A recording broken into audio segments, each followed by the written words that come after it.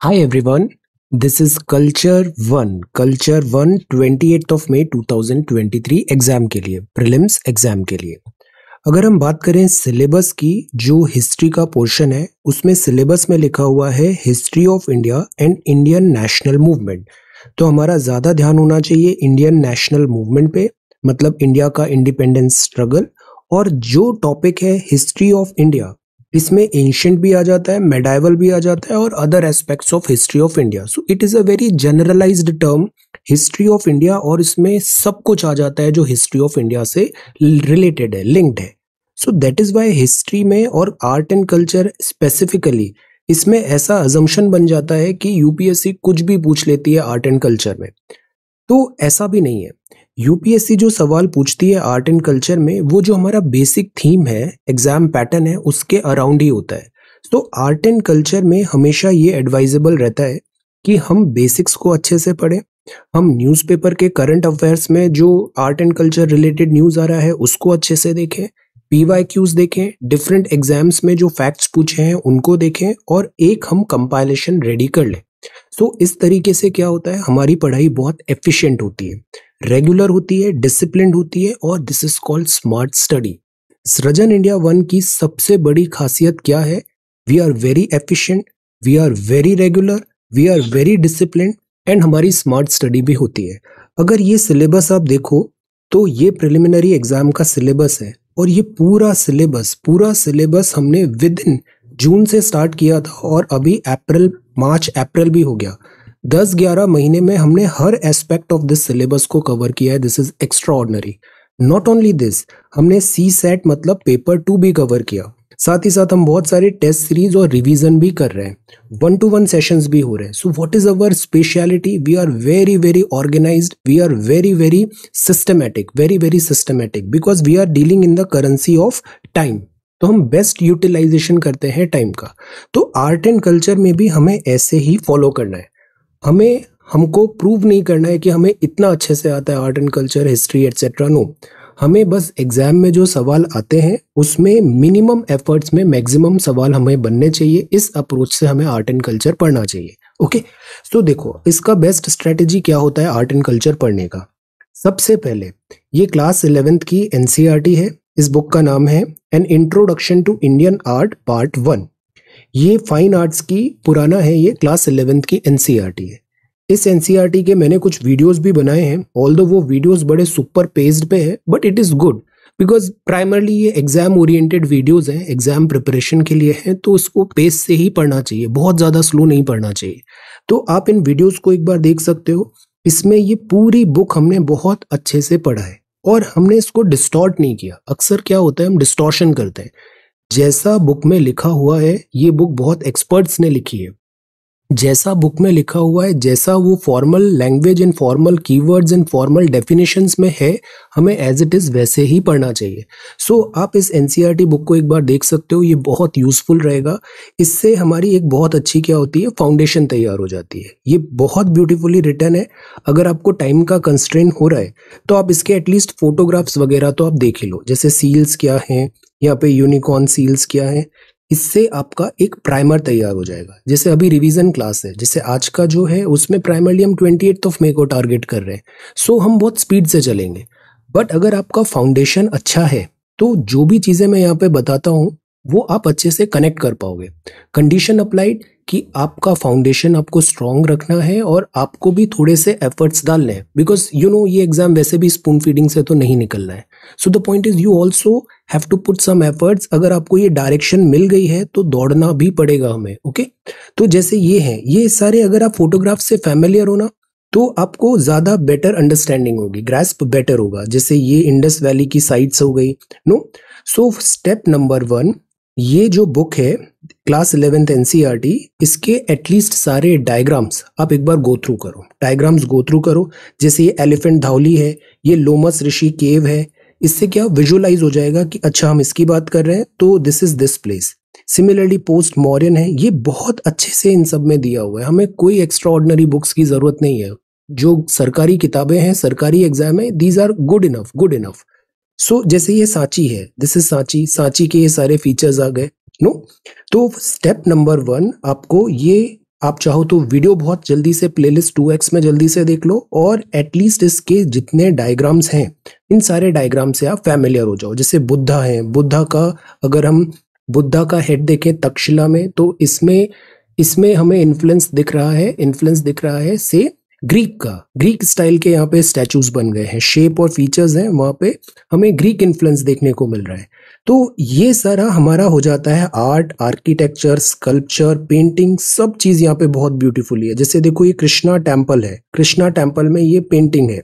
Similarly temple architecture होता है। तो टेंपल आर्किटेक्चर में कैसे कलश है, अमालक है, शिखर है, गर्भगृह है, नगाड़ा स्टाइल क्या है? दीज ऑल आर फीचर्स ये हमारा धरोहर है। सो द पॉइंट इज़ हमें इन आर्किटेक्चर को अच्छे से जानना है। इंडिया के डिफरेंट पार्ट्स में because we say we say that geography is destiny so India के जिस पार्ट में जैसा आर्किटेक्चर बना है, वो आर्किटेक्चर वहाँ की जोग्राफी के हिसाब से बना है। फॉर एग्ज़ाम्पल जो साउथ इंडिया है, वहाँ की जोग्राफी वहाँ के स्टोन्स डिफरेंट है तो वहाँ का आर्किटेक्चर डिफरेंट है।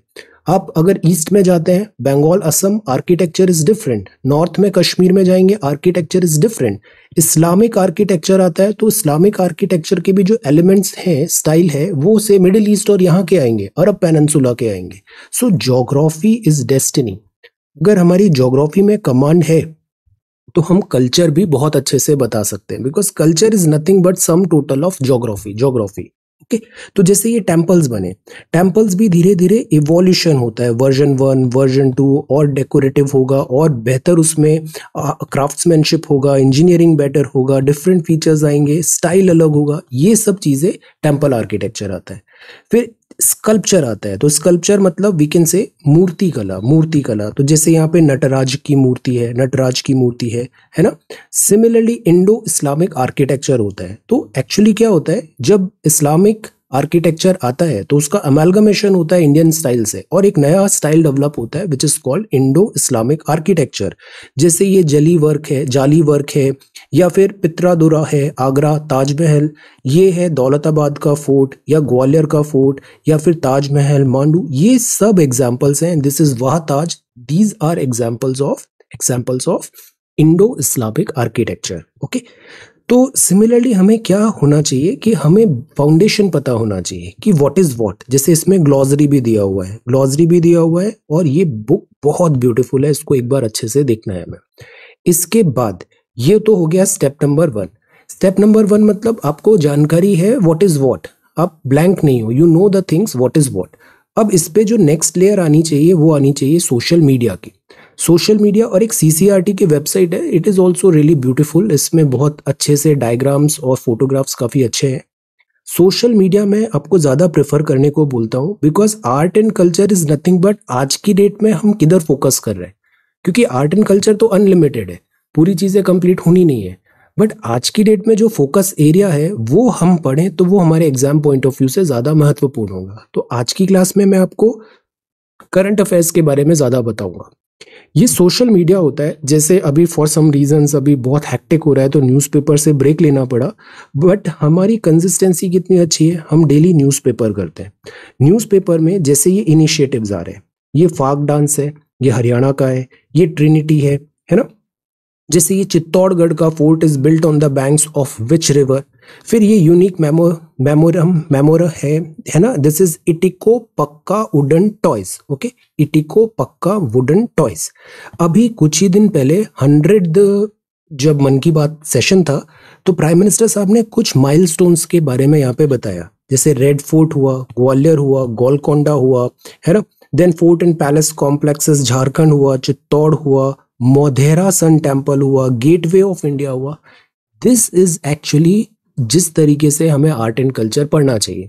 क्योंकि अगर हम पी वाई क्यूज देखेंगे तो वो पुराने ज़माने की पढ़ाई अब नहीं होती है कि हम बहुत हैवी और बहुत जो बल्कि बुक्स हैं या फिर बहुत इन डेप्थ जिसमें बहुत सारी चीज़ें दी हुई हैं स्टैटिक पोर्शन हम उसको बहुत ज़्यादा उसमें इन्वेस्टमेंट कर रहे हैं time energy it is not required what we should do just focus on NCERT ताकि आप फैमिलियर फैमिलियराइज हो जाए सब्जेक्ट से। उसके बाद social media government initiatives current affairs इसको अच्छे से देखें और साथ ही साथ हम जो पी वाई क्यूज है, उसको देखें। जैसे 2022 में जैसे ये सवाल आया, धौली आया, ऐसे कुछ प्लेसेस आए, अब आप बताओ इसमें से क्या सही है। संगम लिटरेचर आया देन इसके बाद योग वशिष्ठ आया, फिर सैल्वेशन क्या होता है जैनिज्म बुद्धिज्म प्राइम मिनिस्टर साहब, देखो, यहाँ क्या लिखा हुआ है? The prime minister recently inaugurated the newly circuit house तो दैट इज़ वाई जो ये इस टाइप की चीज़ें जो मैं आपको बताता हूँ, ये एग्ज़ाम पॉइंट ऑफ़ व्यू से बहुत यूटिलिटी है। So that is why newspaper हमें रोज साल भर पढ़ना चाहिए, है ना? अभी ब्रेक लिया है बट प्रोबेबली मैं उसको रिज्यूम कर दूँगा अभी न्यूज़पेपर भी ओके सो सी तो ये स्टेप नंबर टू होता है। अब जैसे देखो, यहाँ पे आया इंडियन हिस्ट्री का ये सवाल है, इसके बाद ये मैच द फॉलोइंग है, कौटिल्य अर्थशास्त्र है। तो देखो, ये आठ सवाल 2022 में है सिमिलरली 21 में कुछ सवाल आए थे, है ना? धोलावीरा आ गया ट्राइबल लैंग्वेजेस आ गए प्ले राइट्स हो गए, अजंता एलोरा हो गया और मैच द फॉलोइंग तो ऐसे कुछ आठ सवाल 2021 में भी है 20 में भी there will be some questions there were some questions और 2023 में भी कुछ सवाल आएँगे। So what is step number three P Y Qs इस पी वाई क्यू का एक बड़ा अच्छा एनालिसिस पैटर्न भी मैंने शेयर किया है, उसको भी आप देखना। टेलीग्राम चैनल ज्वाइन करिए, उसमें आपको सारी चीज़ें मिल जाएँगी, सारे facts data everything you will get it over there अब ये बात आती है फैक्ट्स की। तो सी रिमेंबर कुछ टाइम पहले हमने ऐसे क्विक फैक्ट्स देखे थे। क्विक फैक्ट्स देखे थे लाइक एग्ज़ाम फैक्ट्स के नाम पे था। Films language art and culture sculpture ये वन लाइनर्स हैं। ये जो चीज़ होती है ना, ये आपको not not only UPSC but other exams में भी बड़ा हेल्प करती है। तो आप इन फैक्ट्स को देखो। जैसे सांथली खासी, ये अलग अलग वन डे एग्ज़ाम्स में पूछे गए हैं आर्ट एंड कल्चर हिस्ट्री से रिलेटेड चाहे पीएससी हो एसएससी हो बैंकिंग एटसेट्रा अदर एग्ज़ाम्स में जनरल नॉलेज सेक्शन में ये पूछा गया है। तो द पॉइंट इज़ हमें इनके बारे में जानकारी होनी चाहिए। जैसे fourteen intangible cultural heritage from India अभी कुंभ मेला है है ना? देन चिकनकारी एम्ब्रॉयडरी कहाँ से होती है? ये लखनऊ से होती है। मार्शल आर्ट फॉर्म भवई नहीं है okay so these are certain readymade facts जो डिफरेंट एग्ज़ाम्स में पूछे गए तो आपको एक बार ये भी देखना चाहिए। This is such a very very short PDF है और ये एग्ज़ाम फैक्ट्स आप एक बार अच्छे से सारे देखो, है ना?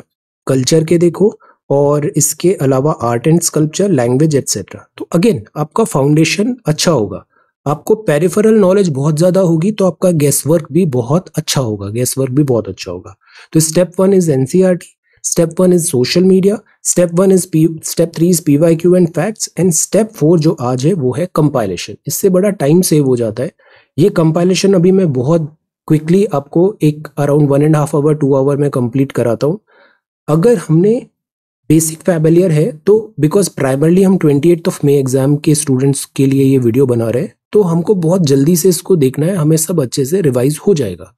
एग्ज़ाम में specially art and culture history में हमें रेंज भी बहुत अच्छी पता होना चाहिए और हमें एक सर्टेन लेवल ऑफ़ डेप्थ पता होना चाहिए। This is not your like twelfth class exam twelfth का एग्ज़ाम बोर्ड एग्ज़ाम और से नीट और आईआईटी टाइप्स नो जो सिविल सर्विसेज़ एग्ज़ाम होता है, इसमें एक रेंज और डेप्थ का अच्छा कॉम्बिनेशन होना बहुत ज़रूरी होता है स्पेशली प्रिलिम्स निकालने के लिए। बिकॉज़ आपने देखा एडवर्टाइजमेंट से सवाल आते हैं, सवाल कहीं से भी आ सकते हैं बट वो सवाल आएँगे जो हमारे सिलेबस के विदिन होंगे okay so let us begin ये इसमें कुछ बहुत ज़्यादा बल्कि चीज़ें भी है, मैं उसको स्किप कर दूँगा। मैं फ़िल्टर करते हुए जो बहुत एसेंशियल चीज़ें हैं और जिस तरीके से हमें देखना है, वो मैं आपको यहाँ पे बताता हूँ ओके तो let us begin sculpture and architecture sculpture and architecture okay बाकी ये जो अभी मैंने बताया सोशल मीडिया अपडेट का, इसके बड़े अच्छे कंपाइलेशन हैं।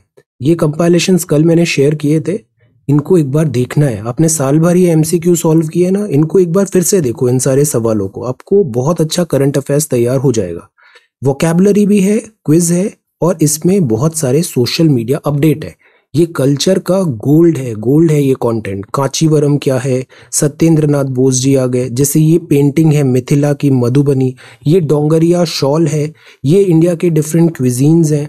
ऐसे बहुत सेलेक्टिव हमने फैक्ट्स साल भर देखे हैं। इनको एक बार आप गो थ्रू करना। न्यूज़पेपर आपने देखा है, आपको बहुत फ़ायदा होगा। जैसे आर्चरी क्या है, नो? देन इसके बाद ये महाबोधि टेंपल क्या है, नो? फिर ये भूरीबाई जी है। दिस इज़ एलिफेंटा की गुफा हमने आर्ट एंड कल्चर बहुत अच्छे से पढ़ा है इंडियन हिस्ट्री हमने न्यूज़पेपर के थ्रू और वो ही असली और अच्छा तरीका होता है। अब all you have to do is join Telegram और उससे ये सारी पीडीएफ आप ले लो और इस पीडीएफ से इन सबको क्विकली रिवाइज कर लेना। जैसे बीहू आ गया है ना? सतीश धवन जी आ गए सावित्री बाई फूले जी आ गई, ठीक है? तो इससे आपका सोशल ये बहुत अच्छा हो जाएगा। ये मंथली कंपाइलेशन है, ये मंथली कंपाइलेशन जैसे जनवरी का है, ये मार्च का है, ऐसे आप टेलीग्राम चैनल से इनका एक्सेस ले लीजिए ओके सो ये हमारा तरीका होना चाहिए एनसीईआरटी आर्ट एंड कल्चर के exam facts PY Qs social media and then this final compilation इसको मैं क्विकली अब स्टार्ट करता हूँ okay so sculpture and architecture इसमें ओडिशा टेंपल आर्किटेक्चर बहुत न्यूज़ में है अभी ओडिशा। ओडिशा बहुत इंपॉर्टेंट स्टेट भी है। तो टेम्पल्स ऑफ़ ओडिशा होते हैं, यहाँ पे कलिंग आर्किटेक्चर होता है, कलिंग आर्किटेक्चर। ये अभी काफ़ी न्यूज़ में है। तो अभी इसलिए भी न्यूज़ है बिकॉज़ यहाँ पर अभी गवर्नमेंट कुछ रेनोवेशन वर्क कर रही थी ब्यूटिफिकेशन कर रही थी जगन्नाथ टेंपल के आसपास तो उस पर ऑब्जेक्शंस उठे थे कि हम ओरिजिनल जो स्टाइल है वो कहीं डैमेज नहीं हो जाए। तो इसकी हिस्ट्री जानते हैं। जैसे ये जगन्नाथ टेंपल पुरी है, ये डेडिकेटेड है लॉर्ड जगन्नाथ को।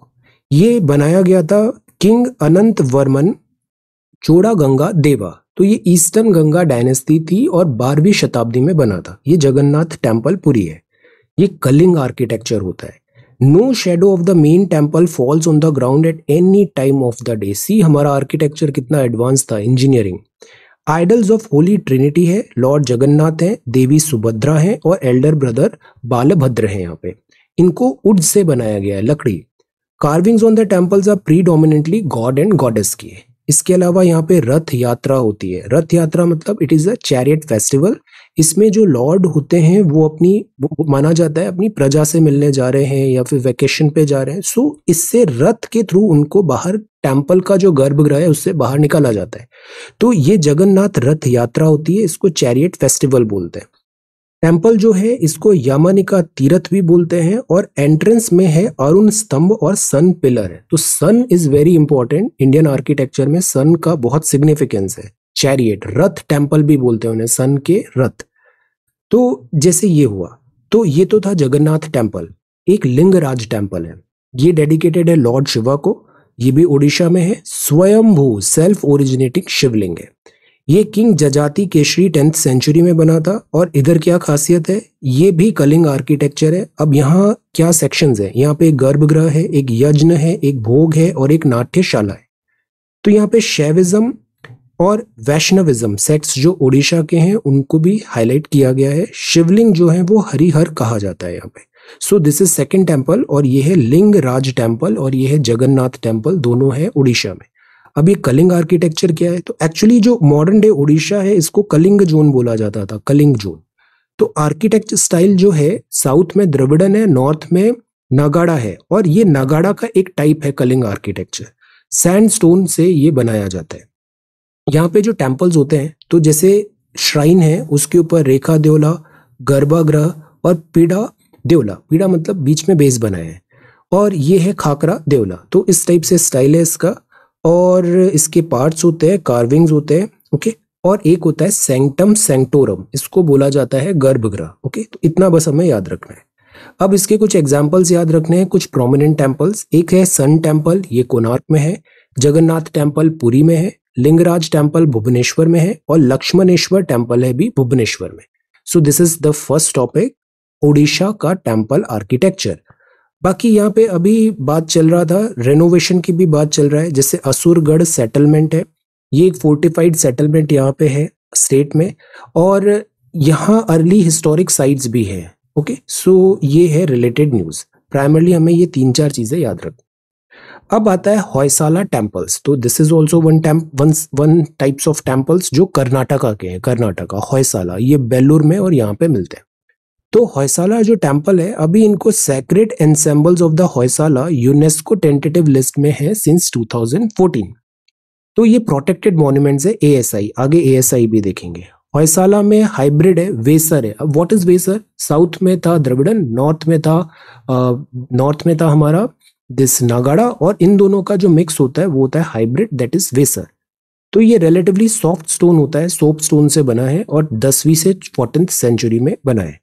अब ये इसका स्टाइल है इंट्रिकेट कार्विंग है स्कल्पचर्स होते हैं, मंडप होते हैं। Mandap like this this camp mandaps होते हैं ये। और एक्चुअली साउथ इंडिया में जो टेम्पल्स भी बनते थे, वो टेम्पल्स एक एक काइंड ऑफ़ टाउन हॉल तरीके के होते थे। उसमें बहुत सारी अदर एक्टिविटीज़ भी होती थी meetings marriages etcetera so so, ये है मंडप विमान है और रिलीजियस थीम है यहाँ पे। शैविज्म का थीम है वैष्णविज्म और शक्तिज्म एंड जैनिज्म भी यहाँ पे देखने को मिलता है। तो दीज आर हौसाला ये वर्ल्ड हेरिटेज साइट लिस्ट है यूनेस्को की लिस्ट होती है। International world heritage program UNESCO के अंदर है। और इसमें क्या होता है ये जो साइट्स होती है ये साइट्स में अगर यूनेस्को साइट्स में आप रजिस्टर्ड होते हो तो आपको आइडेंटिफिकेशन ज़्यादा मिलता है और प्रोटेक्शन बेटर हो पाता है। तो कुछ और प्रोमिनेंट टेंपल है एक है चेना केसावा टेंपल बेलूर। हौसलेश्वर टेंपल है और ये केसावा टेंपल है, सोमनाथपुरा। ओके? हमें प्राइमरली बस हौसाला याद रखना है और हौसाला कहाँ पर है? Belur this is in Karnataka. ये डिटेल्स है temples all right then Hoysala dynasty भी हमें पता होनी चाहिए। ये ये जोन है। हमें एग्जैक्ट नहीं पता बट हमें रफली आइडिया होना चाहिए कि कौन सी डायनेस्टी किस एरिया में थी। So this is Hoysala dynasty और हौसाला डायनेस्टी थी यहाँ पे ठीक है मेजर सिटीज़ थी बेलूर बेलूर इनकी मेजर सिटी थी। एग्रेग्रियन इकोनॉमी थी मोस्टली एग्रेग्रियन इकोनॉमी होती थी इस टाइम पे। कन्नड़ संस्कृत लैंग्वेज बोली जाती थी। विमेन को एडमिनिस्ट्रेशन में इंपॉर्टेंस मिला था। सोशल रिलीजियस कंडीशंस भी इनकी बेहतर थी। ओके एजुकेशन सेंटर्स भी डेवलप किए थे और शैविज्म हिंदुइज्म जैनिज्म बुद्धिज्म ये सब फॉलो होता था। तीन फिलोसफर्स थे बासावना माधवाचार्य और रामानुजाचार्य, इनको हम आगे देखेंगे। तो ये एक इंस्टीट्यूशन की तरह इन्होंने हौसाला डायनेस्टी दसवीं से फोर्टीन सेंचुरी में इन्होंने यहाँ पे वर्क किया। अब आता है चोला। चोला मतलब चेन्नई। तो ये तमिलनाडु में है। तमिलनाडु में चोला डायनेस्टी थी और उसमें Rajendra Chola one is important तो राजेंद्र चोला वन थे, इनको गंगाई कोंडा चोलापुरम भी बोलते हैं। ये सन थे राज राजा चोला के गंगाई कोंडा चोलापुरम इन्होंने कंट्रीब्यूशन किया आर्ट रिलीजन लिटरेचर में। गंगाई कोंडा चोलापुरम टेंपल भी बनाया और victory after Pala king Mahipal के बाद में। तो ये था राजेंद्र चोला अब इसके अलावा ये अभी न्यूज़ में था चोला डायनेस्टी और यहाँ पे नटराज स्कल्पचर है न्यूज़ का। नटराज स्कल्पचर ये जो चोला स्कल्पचर है मतलब जो मूर्ति कला है, इसमें मेटल का बहुत यूज़ है। इसमें एक टेक्निक होती है टायर पर ड्यू या फिर लॉस्ट वैक्स कास्टिंग टेक्निक इसमें क्या होता है? जैसे ये मूर्ति बनाया है। अभी मूर्ति कैसे बनाया होगा?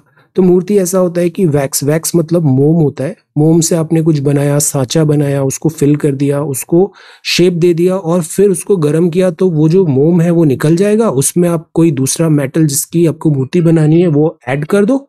ओके तो ये जो टेक्नोलॉजी था, ये इंडस वैली सिविलाइजेशन में भी काफ़ी इस्तेमाल था। मेटल कास्टिंग बनाई जाती है। Molten metal is poured into a mould that has been created by means of wax model और फिर बाद में उस मॉडल को मेल्ट कर दिया जाता है और जो बचता है वो केवल बचता है आपका मेटल मेटल तो इस तरीके से ब्रोंज नटराज स्कल्पचर बना। अब ये जो ब्रोंज नटराज स्कल्पचर है, ये एक बार मेंस में सवाल आ गया था प्रिलिम्स में आई डाउट अब वापस पूछा जाएगा। अपर राइट हैंड जो होल्ड है, उसमें डमरू है। और डमरू मतलब साउंड साउंड मतलब क्रिएशन अपर लेफ़्ट हैंड में अग्नि है, इसमें अग्नि मतलब फायर जो डिस्ट्रॉय कर सकती है यूनिवर्स को। लोअर राइट हैंड जो है, वो अभय मुद्रा होता है। अभय का मतलब क्या होता है? आप उसको लाइक फियर दूर कर रहे हो। Gesture that allays fear dwarf like एक फिगर है, जो राइट फुट वहाँ पर है, और दिस इज़ अपस्मरा पुरुष। मतलब this is mankind astray we can say ये ट्रैम्पल हो रहा है ट्रैम्पल हो रहा है। फ्रंट लेफ़्ट हैंड है और इसमें रेज लेफ़्ट हुड है और ये रिफ्यूज है फॉर ट्रबल्ड सोल तो ये जो चोला आर्किटेक्चर है, इसमें द्रविडन स्टाइल है, नीस और ग्रेनाइट प्राइमरली यूज़ हुआ है। साउथ इंडिया ग्रेनाइट ज़्यादा इस्तेमाल होगा, एट्थ टू ट्वेल्थ सेंचुरी है। इसके बहुत सारे ऐसे यूनिक फीचर्स हैं। अब देखो, द्रविडन जो स्टाइल टेम्पल्स होते थे, ये कंप्लीट यूनिट की तरह होते थे। यहाँ वाटर टैंक होता था ये जो अगर टेंपल का डिज़ाइन है, गर्भगृह है सब्सिडरी श्राइन्स भी होती है। मतलब एक मेन श्राइन है और उसके साथ सब्सिडरी श्राइन्स है। जो टेंपल बना है, उसमें विमान होते थे। एलिवेशन बहुत अच्छा होता था। अंतराल होता था असेंबली हॉल्स होता था और जहाँ से एंट्री होती थी, वहाँ पे गोपुरम होता था। तो ये यूनिक फीचर्स आपको स्पेशली देखने को मिलेंगे south Indian Dravidian style of architecture में टेंपल आर्किटेक्चर में। तो जैसे यहाँ पर प्रोमिनेंट फीचर्स क्या है? एक तो बाउंड्री वॉल होती है। मतलब हमको इसको एज अ सिटी की तरह ऐसे बाउंड्री वॉल के अंदर रखना है। और यहाँ पे एक टावर गोपुरम है, इसके अलावा अंतराल है, विमान है मेन जो टेंपल श्राइन है उसका, और एक इनर गर्भगृह भी है। यहाँ पे आपको पेंटिंग्स भी मिलेगी मुराल पेंटिंग्स भी यहाँ पर अक्सर देखने को मिलती है। बृहदेश्वर टेंपल कहाँ पर है? तंजावर में राज राजा चोला ने बनाया। बृहदेश्वर टेंपल गंगाई कोंडा चोलापुरम है, राजेंद्र चोला वन और अरतवेश्वर टेंपल है, ये राजेंद्र चोला टू। तो ये प्रोमिनेंट टेम्पल्स हैं, चोला डायनेस्टी के। अब चोला डायनेस्टी थी, ये सक्सेसर थी पल्लवा डायनेस्टी वीकेंड से। पल्लवा डायनेस्टी थी अच्छा एक और चीज़ इंपॉर्टेंट है, ये जो साउथ इंडिया की ये जो किंगडम्स हैं, इनका जो रेंज था एरिया था, ये पूरा साउथ एशियन कंट्रीज़ भी ये ऑलमोस्ट कवर कर रहे थे। So that is why Singapore Indonesia etcetera आपको यहाँ पर बहुत सारे इंडियन टेम्पल्स भी देखने को मिलेंगे। अभी एक टेंपल है इंडोनेशिया का एक टेंपल है इवन मलेशिया में भी टेम्पल्स हैं। ये काफ़ी न्यूज़ में थे। Can you tell the name so ये चोला डायनेस्टी है। इवन म्यांमार में भी टेंपल है इंडियन स्टाइल के टेंपल ये जो आप बताओ, इस जो एशियन कंट्रीज़ है, यहाँ कौन से इंडियन टेम्पल्स हैं? कौन से इंडियन टेम्पल्स हैं? एंशियंट इंडियन टेम्पल्स हैं। Answer this is again important तो ये चोला डायनेस्टी है।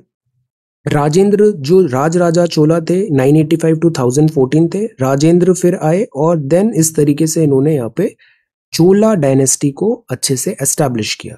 मेजर जो शहर थे वो थे तंजौर और बाद में गंगई कोंडा चोलापुरम बना।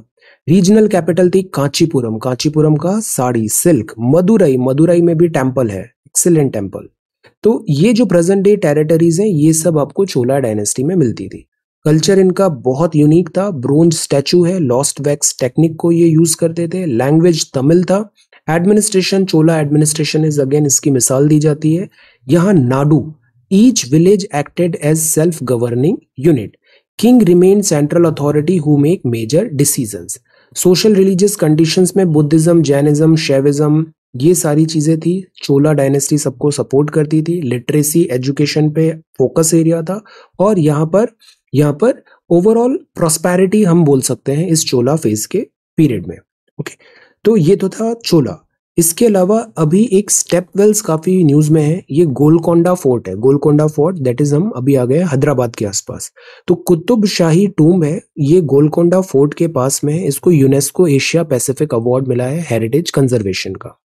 स्टेप वेल है गोलकोंडा फोर्ट तेलंगाना, ये पर्शियन स्टाइल से है। और मॉन्यूमेंट को ये अवार्ड मिला है। गोलकोंडा स्टेप वेल छह कैटेगरी में ऐसे अवार्ड मिलता है, ठीक है। यूनेस्को एशिया पैसिफिक अवार्ड मिला है। प्राइवेट इंडिविजुअल और ऑर्गेनाइजेशंस को रिकॉग्नाइज किया जाता है अगर आपने हेरिटेज को कंजर्व किया है तो।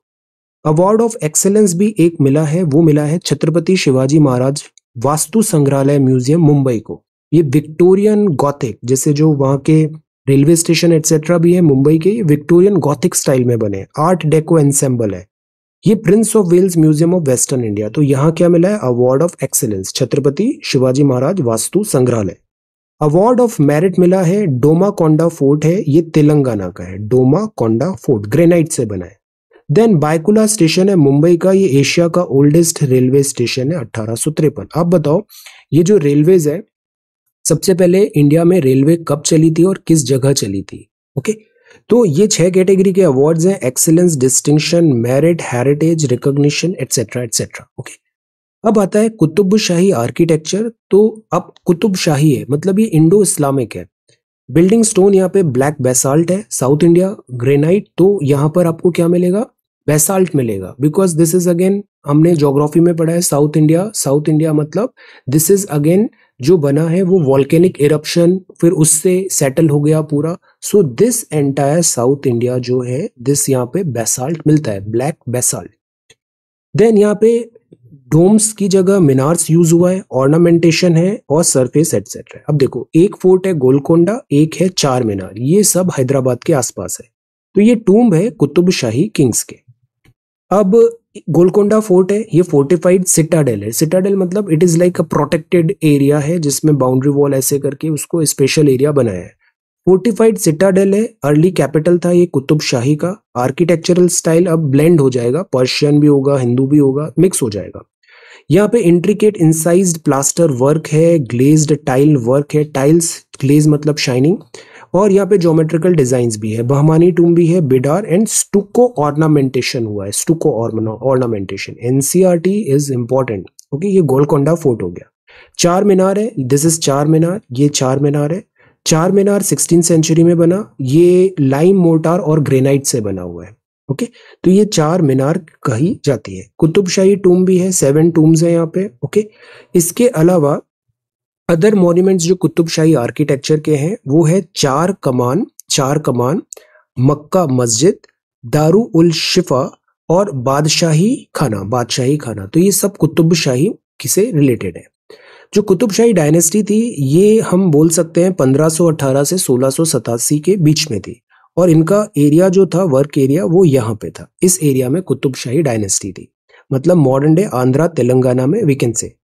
प्रोमिनेंट रूलर्स हैं मेजर सिटीज़ इसमें थी, जैसे Mohammad Nagar, Hyderabad plan and founded by Mohammad Quli Qutb Shah ने हैदराबाद बनाया था। कल्चर जो है यहाँ पे, ये अगेन एक हाइब्रिड कल्चर होगा यहाँ पे।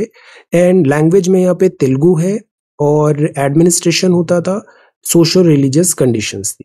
ओके तो ये डायनेस्टी एंड हुई जब मुगल एम्पर औरंगज़ेब ने सीज कर दिया फोर्ट्रेस ऑफ़ कोलकोंडा तो उससे कुतुब शाही डायनेस्टी का एंड होता है 1580 to 1687 modern day Andhra and Telangana फिर आता है मेगा लिथिक लिथिक मतलब स्टोन ये मतलब अगर हम हिस्ट्री में जाते हैं तो हमें ऐसे जोन्स मिलते हैं. ट्रांजिशन हमें इरा मिलता है. तो दिस इज़ मेगालिथिक इरा का मेगालिथिक साइट्स है. उस जमाने की चीज़ों को बताया तो लार्ज स्टोन यहाँ पे यूज़ हुआ बरियल साइट्स में मिला।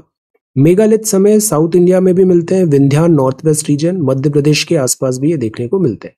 तो ये 1300 से 12 सेंचुरी सीई के आसपास के हैं। ये मेगालिथिक जार्ज हैं। असम में डीमा हसाओ डिस्ट्रिक्ट में मिले हैं।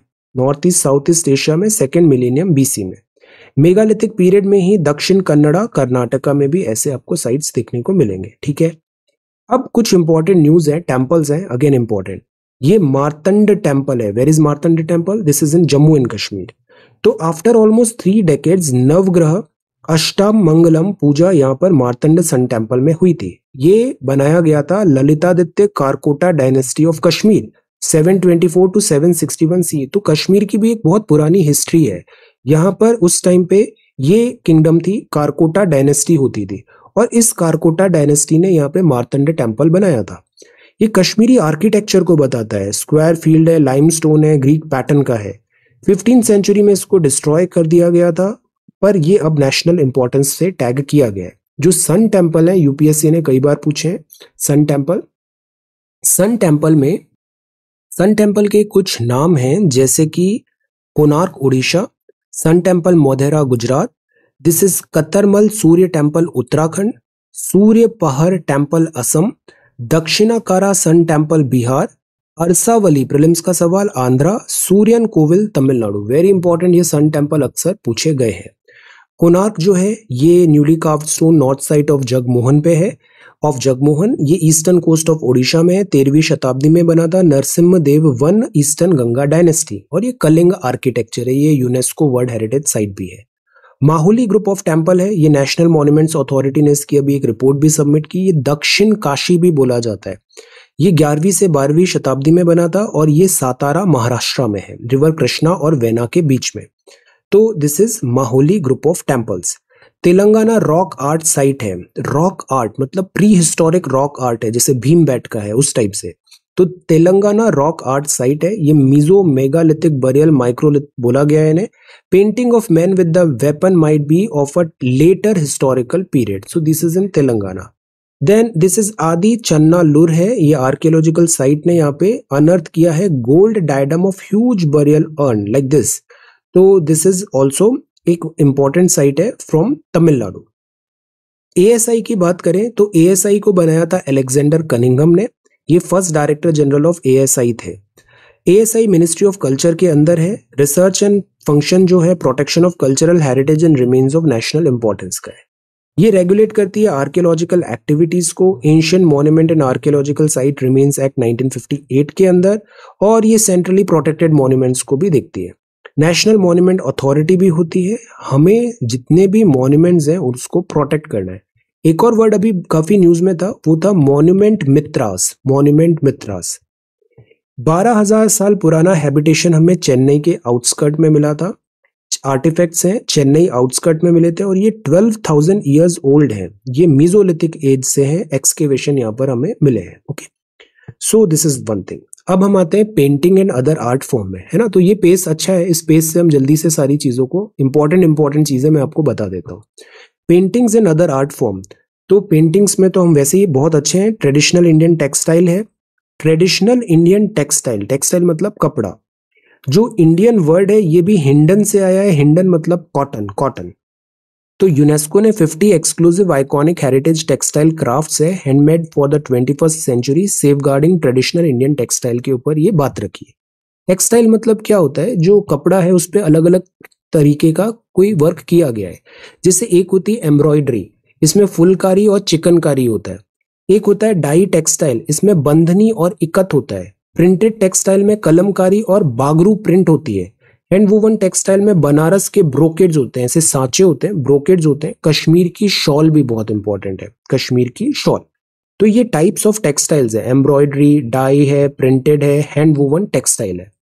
अगर हम देखें तो इसमें बहुत सारे इनिशिएटिव लिए हैं हैंडीक्राफ्ट को बढ़ाना है क्लस्टर को बढ़ाना है, अंबेडकर हस्तशिल्प विकास योजना है वेरी इंपॉर्टेंट मेगा क्लस्टर है और मार्केटिंग सपोर्ट भी देना है। सो so दैट जो कपड़ा उद्योग है टेक्सटाइल उद्योग है, उसको बढ़ावा मिले। ये कुछ heritage textile crafts of India है, इसको मैं स्पीड से बता देता हूँ। इसमें जितना याद होता है, ठीक है otherwise also it is okay Ladakh में थिग्मा या वुलटाई डाई है। हिमाचल प्रदेश में चंबा, रुमाल चंबा वैली में है। हरियाणा में खेस वीविंग है टोपेस्ट्री वीविंग है टेपेस्ट्री वीविंग है। राजस्थान की डंका एम्ब्रॉयडरी इंपॉर्टेंट है स्प्लिट प्लाई ब्रेड वीविंग भी है ना, ये डंका इज़ इंपॉर्टेंट देन इसके अलावा अवध में जामदनी है, बलूचारी है, बादला एम्ब्रॉयडरी है लखनऊ में। ग्यासर वीविंग है हैंड ब्लॉक प्रिंटिंग है ऑल राइट वेस्ट बंगाल में अशावली सारी है वीविंग है, इसमें क्या इंपॉर्टेंट है? पटोला वीविंग इंपॉर्टेंट है पाटन का. मातानी पचेड़ी भी इंपॉर्टेंट है अहमदाबाद की. This is Gujarat Mata ni Pachedi Ahmedabad Patola weaving Patan okay Mashru weaving हो गया. रोगन टेक्सटाइल अभी आगे देखेंगे हम. सुजनी भी इंपॉर्टेंट है तंगालिया भी इंपॉर्टेंट है. ये सब इंपॉर्टेंट है. अब क्यों इंपॉर्टेंट है? बिकॉज़ गुजरात मतलब कि यहाँ पे कॉटन बनता है. तो that is why Gujarat, Maharashtra, यहाँ पे कपड़ा उद्योग बड़ा अच्छा है। देन महाराष्ट्र में हिमरू वीविंग है, मध्य प्रदेश में नानदाना हैंड ब्लॉक पेंटिंग है और गोवा की कुंबी वीविंग है। सिमिलरली बिहार में आती है बावन बुट्टी वीविंग खेटा एम्ब्रॉयडरी है। ओडिशा में बांधना है, बहरमपुर का पाटा है, पर्दा है, डोंगरिया कोंड टेक्सटाइल है, कंधमाल की वेरी इंपॉर्टेंट कुछ जीआई टैग है, वो आगे बताता हूँ। केंदुली पट्टा है प्रेग्नेंट टेक्सटाइल है दिस वेस्ट बंगाल में, गराड कोरियाल वीविंग है, साउथ इंडिया की बात करें तो हिमरू हो गया सिद्धि पेट है आंध्र प्रदेश की, पेट वर्ड होता है ये आंध्रा के आसपास है।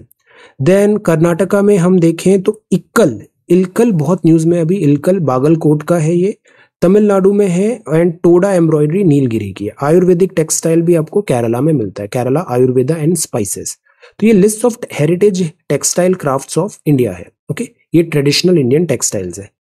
टॉयज बहुत इंपॉर्टेंट है। कई बार इनके बारे में मेंशन भी हुआ है मन की बात में। ब्यूरो ऑफ़ इंडियन स्टैंडर्ड होता है। ये स्टैंडर्ड्स सेट करता है। ये national standard body of India 2016 में बना था बीआईएस एक्ट के through ministry of consumers affairs and food and public distribution के अंदर वर्क करता है। ये harmonious development of standardization marking and quality certification पे काम करता है। ये एक काइंड ऑफ़ लाइक बीआईएस का मार्क लगा हुआ है तो उस पर हमें जेन्युन लगता है अथॉरिटी उसमें आ जाती है, okay? तो ये ministry of consumer affairs and food and public distribution के अंदर है इसके प्रेसिडेंट होते हैं, वो यूनियन मिनिस्टर कंज्यूमर अफेयर्स होते हैं ओके okay? अब टॉयज की बात करते हैं दस इंडियन टॉयज हैं, वो जो अभी पब्लिश हुए हैं seven are part of quality control order safety of toys के अंदर बिकॉज़ टॉयज मतलब they are related to kids so safety security बहुत इंपॉर्टेंट है अब देखो, चौदह साल का यहाँ पर है फोर्टीन ईयर्स तक का एज है जेन that toys for children under fourteen years of age है। क्यू सी ओ है, वो बच्चों के टॉयज के लिए मैंडेटरी कर दिया गया इंडियन टॉयज की बात करें तो ये एक बहुत बड़ा बिज़नेस है, जो टॉय है ना टॉय इंडस्ट्री इज़ ह्यूज इसमें बहुत सारे इनिशिएटिव हैं, जैसे इंडियन टॉय स्टोरी है हैंडीक्राफ्ट टॉय क्लस्टर है, एक स्फूर्ति स्कीम आती है। स्फूर्ति में क्या होता है? ट्रेडिशनल जो इंडस्ट्रीज़ होती है, उसमें लाइक उनका मशीन्स को अपग्रेड करना है like that that is SFURTI. National education policy भी है ताकि इस हेरिटेज को हम कंजर्व करें। अब देखो, ये बहुत इंपॉर्टेंट पार्ट आ गया है। मैन्युफैक्चरिंग लोकेशन पंजाब में है चानकाना। ये एक विसल के टॉयज होते हैं, ऐसे। घुग्गू टॉयज होते हैं, ये रेटल बॉक्स होता है फॉर बेबीज लट्टू होता है और हंडवाई होता है, हंडवाई। गुजरात में थिगड़ा ढिंगला होता है, गुजरात में थिगड़ा ढिंगला होता है। महाराष्ट्र में होता है भातुकारी मिनिएचर और दिस किचन सेट्स हैं। किचन सेट्स है और सावंतवादी है महाराष्ट्र में। कर्नाटका में चन्ना पटना है और किन्नाल टॉयज है। आंध्रा में इथिको पक्का है और कोंडापल्ली है। तमिलनाडु में तंजौवर है, तेलंगाना में निर्मल है, चोपू सामन, बिहार में है कन्यापुत्री और सिक्की वर्ग। मणिपुर का है ये लाई फाडी भी। असम में है this Ashari Kandi terracotta terracotta मतलब दिस मिट्टी एंड दिस कपड़ा मिक्स पेपर मैश के टॉयज होते हैं और संबलपुर के टॉयज होते हैं उड़ीसा में और वुडन टॉयज बनते हैं यूपी में। इसमें जितना याद आता है, ठीक है, पर इसको एग्ज़ाम जाने से पहले एक बार फिर से देख लेना। मैन्युफैक्चरिंग लोकेशन कुछ जो टॉयज हैं क्राफ्ट्स हैं न्यूज़ में है, जैसे पहाड़ी मिनिएचर न्यूज़ में, पहाड़ी मिनिएचर ये कांगड़ा की है।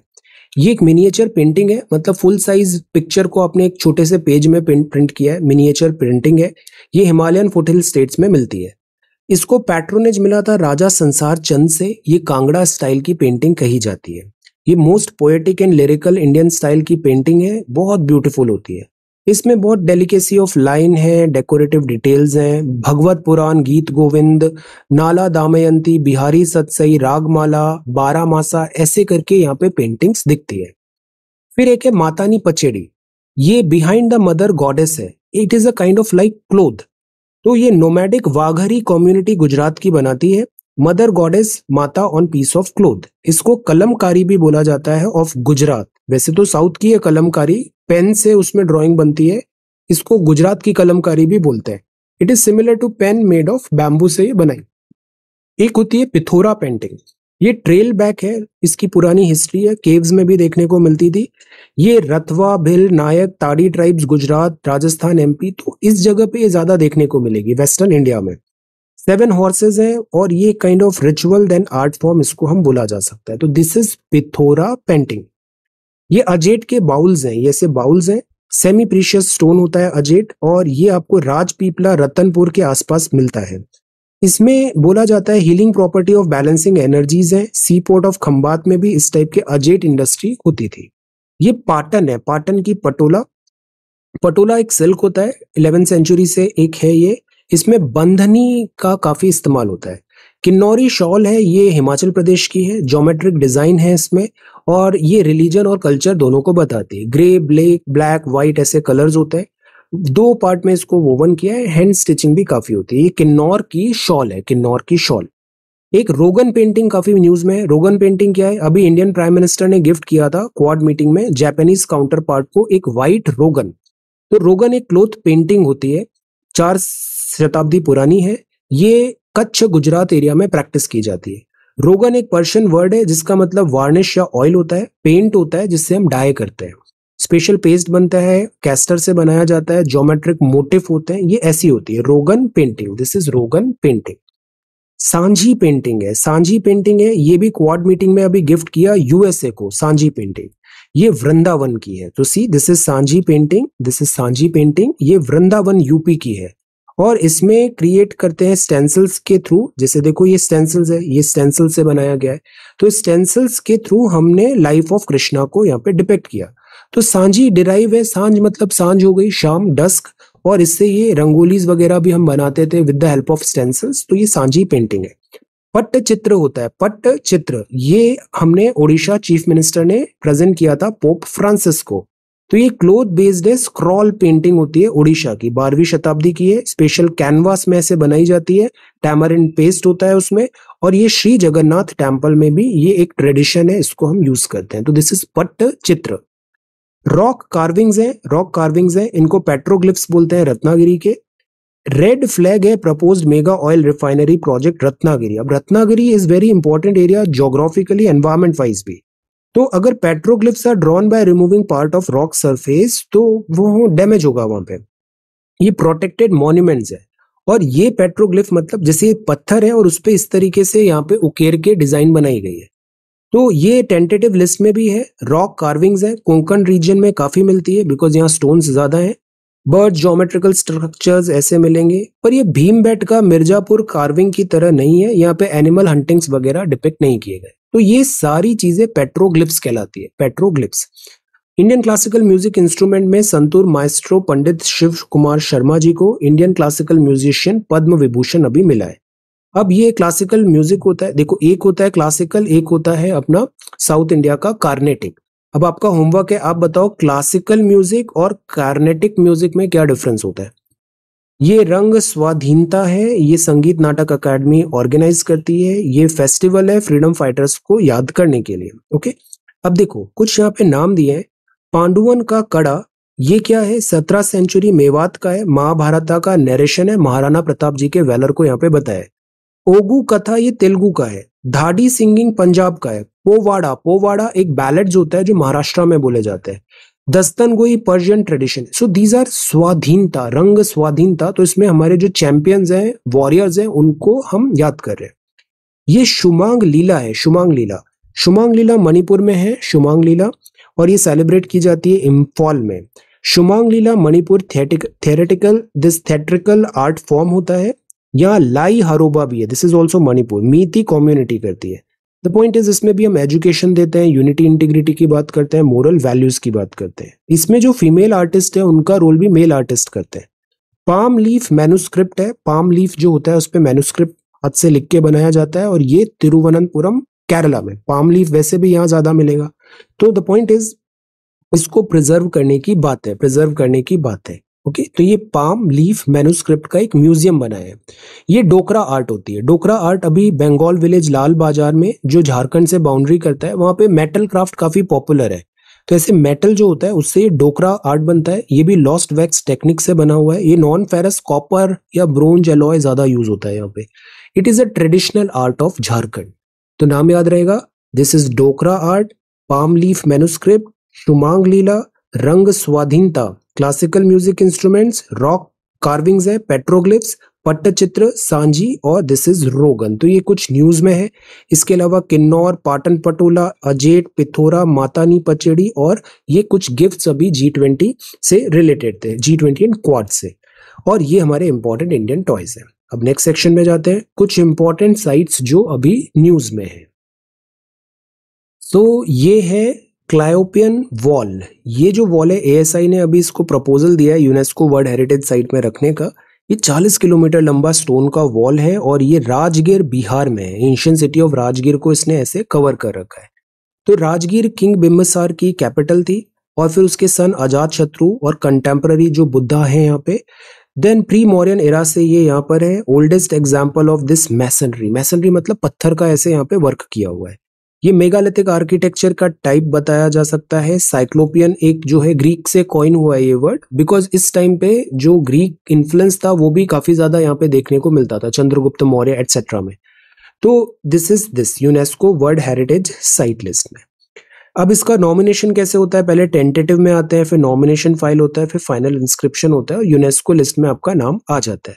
यूनेस्को लिस्ट में आपका नाम है तो थोड़ा उसका रिकॉग्निशन बढ़ जाता है। टूरिस्ट ज़्यादा आते हैं, आपको बेटर प्रेस्टीज मिलता है फाइनेंशियल असिस्टेंस मिलता है एक्सपर्ट एडवाइस मिलता है। यूनेस्को है United Nations education scientific and cultural organization तो यूएन ने 1945 में यूनेस्को बना था ऐसा। इसका काम यही होता है कि ऑल ओवर द वर्ल्ड जो एजुकेशन और कल्चरल ऑर्गेनाइजेशंस हैं कल्चर के रिलेटेड में आपको काम करना है। ये यूनेस्को साइट सर्टिफिकेशन भी देता है आइडेंटिफिकेशन भी देता है। जैसे ये नालंदा यूनिवर्सिटी है एजुकेशन था। ये बिहार में है archaeological site of Nalanda Mahavihara. ये कुमार गुप्त ने फॉर्म किया था और ये 600 साल तक फ्लरिश हुआ था अंटिल ट्वेल्थ सेंचुरी ये महाबोधि टेंपल है, बोध गया का। इनको, जैसे जो ये साइट है, Nalanda institute of national importance भी कहा गया है। महाबोधि टेंपल 2002 में आया लॉर्ड बुद्धा ने एनलाइटनमेंट किया था मॉरन एम्पर अशोका के टाइम पे बिल्ट हुआ। पांचवी टू छठवीं शताब्दी तक ये प्रेजेंट टेंपल इस फॉर्मेट में आया ओके ओरिजिनल स्ट्रक्चर था, वो मौर्यन एम्पर अशोका के टाइम पे आया था, बाद में इसको गुप्ता पीरियड एटसेट्रा ने प्रेजेंट फॉर्मेट में बनाया। तो ये महाबोधि टेंपल है, बोध गया का। इसके अलावा Mohenjodaro might be remove from UNESCO world heritage site might लिखा हुआ है कंफर्म नहीं है। लिवरपूल है third location this and that okay UNESCO site delisting procedure भी होता है तो ऐसा नहीं है कि एनलिस्ट हो गए तो हमेशा रहेंगे, वो डीलिस्ट भी कर दिया जाता है। आयरन एज है, अब हमारी जो सिविलाइजेशन जैसे ग्रो हुई तो पहले जैसे कॉपर का हमें पता था।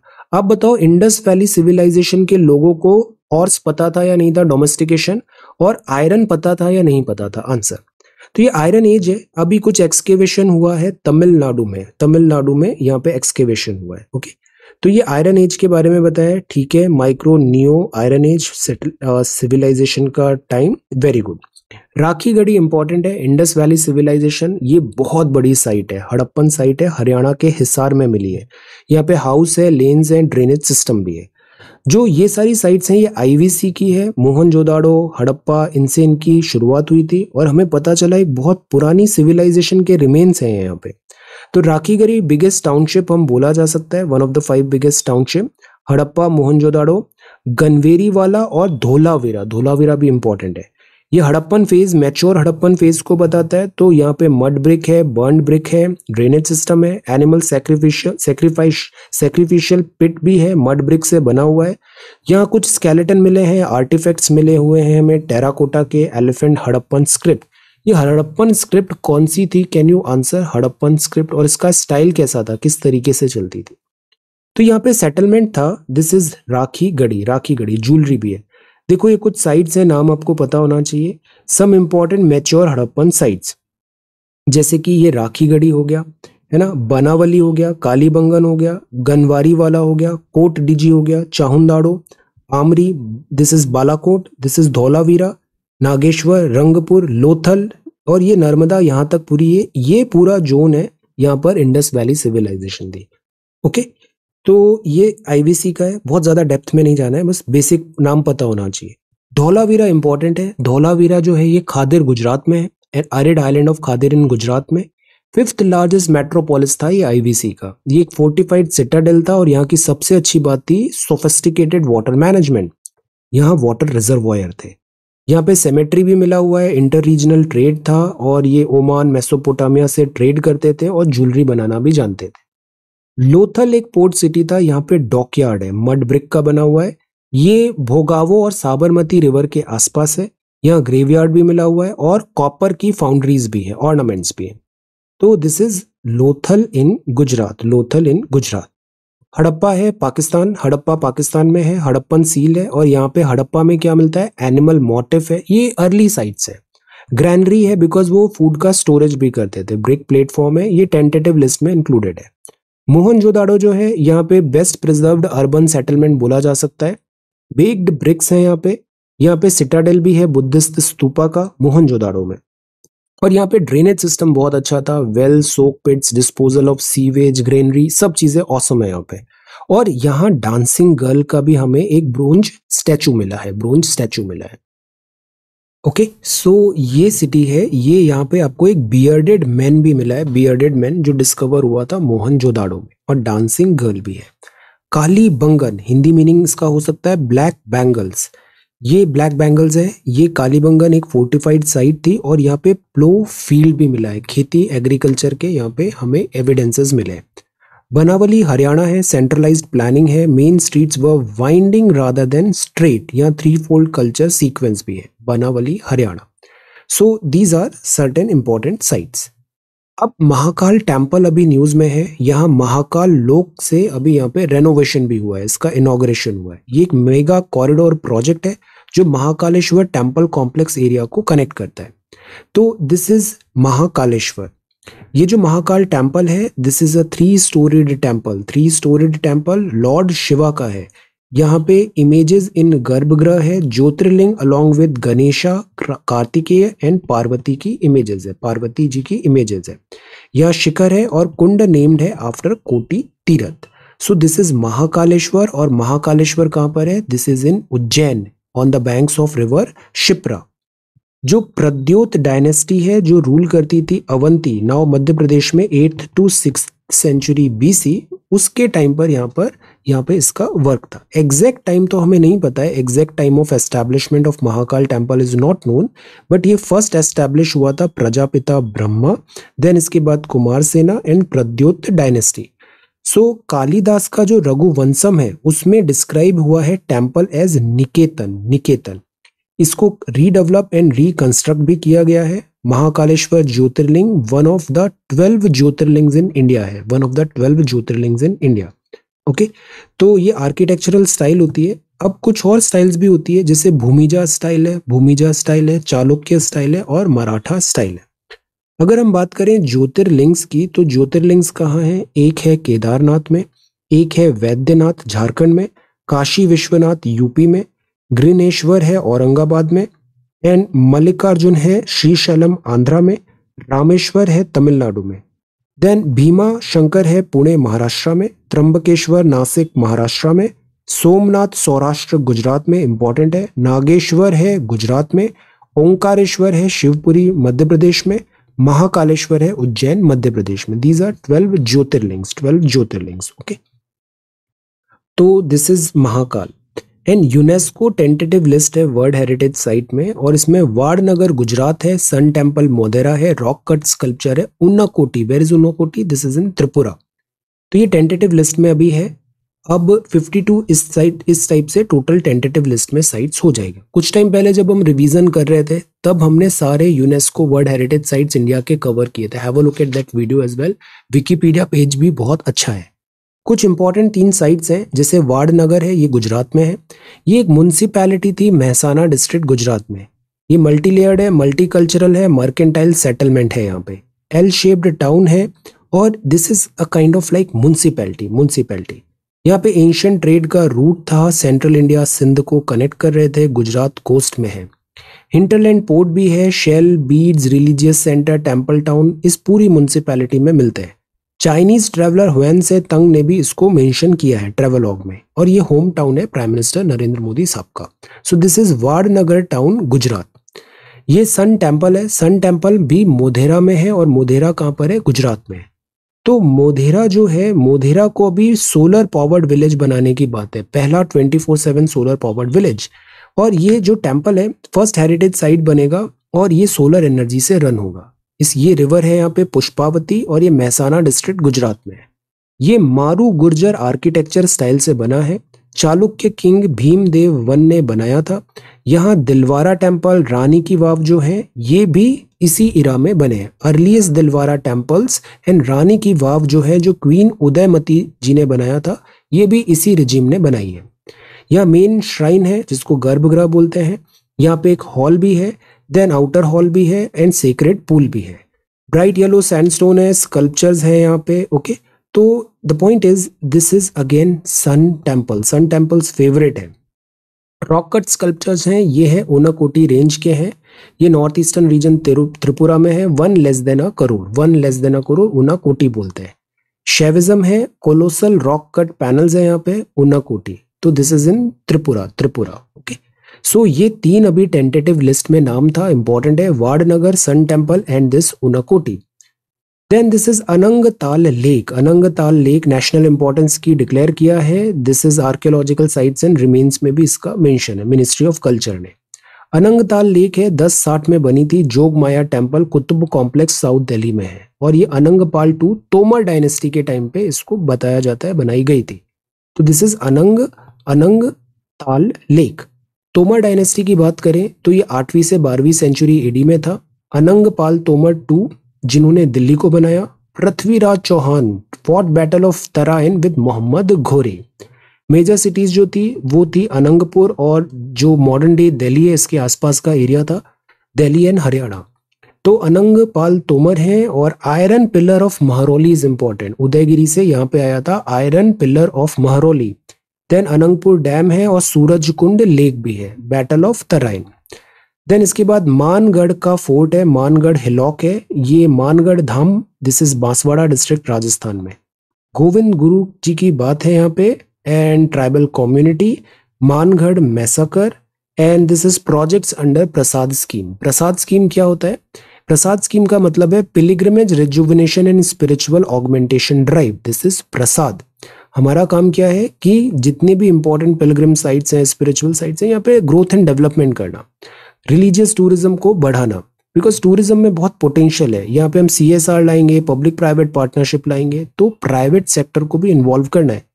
डेवलपमेंट है श्री सैलम टेंपल आंध्रा में प्रसाद जो प्रोजेक्ट है, ये भद्रचालम रुद्रेश्वर टेंपल तेलंगाना रामप्पा टेंपल भी अभी बहुत न्यूज़ में था रामप्पा टेंपल तो ये सब प्रसाद स्कीम के थ्रू किया जा रहा है।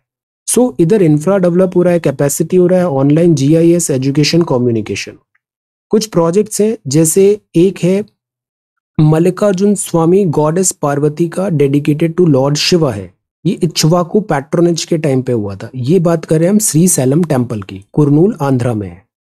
तो this is again very important temple ये वन ऑफ़ ट्वेल्व ज्योतिर्लिंग में है और अट्ठारह महाशक्ति पीठ में भी आता है। तो ये जो टेंपल है, श्री सैलम, यहाँ पे सेविज्म है और शक्तिज्म है। सेविज्म एंड शक्तिज्म दोनों के लिए बहुत सिग्निफिकेंट है।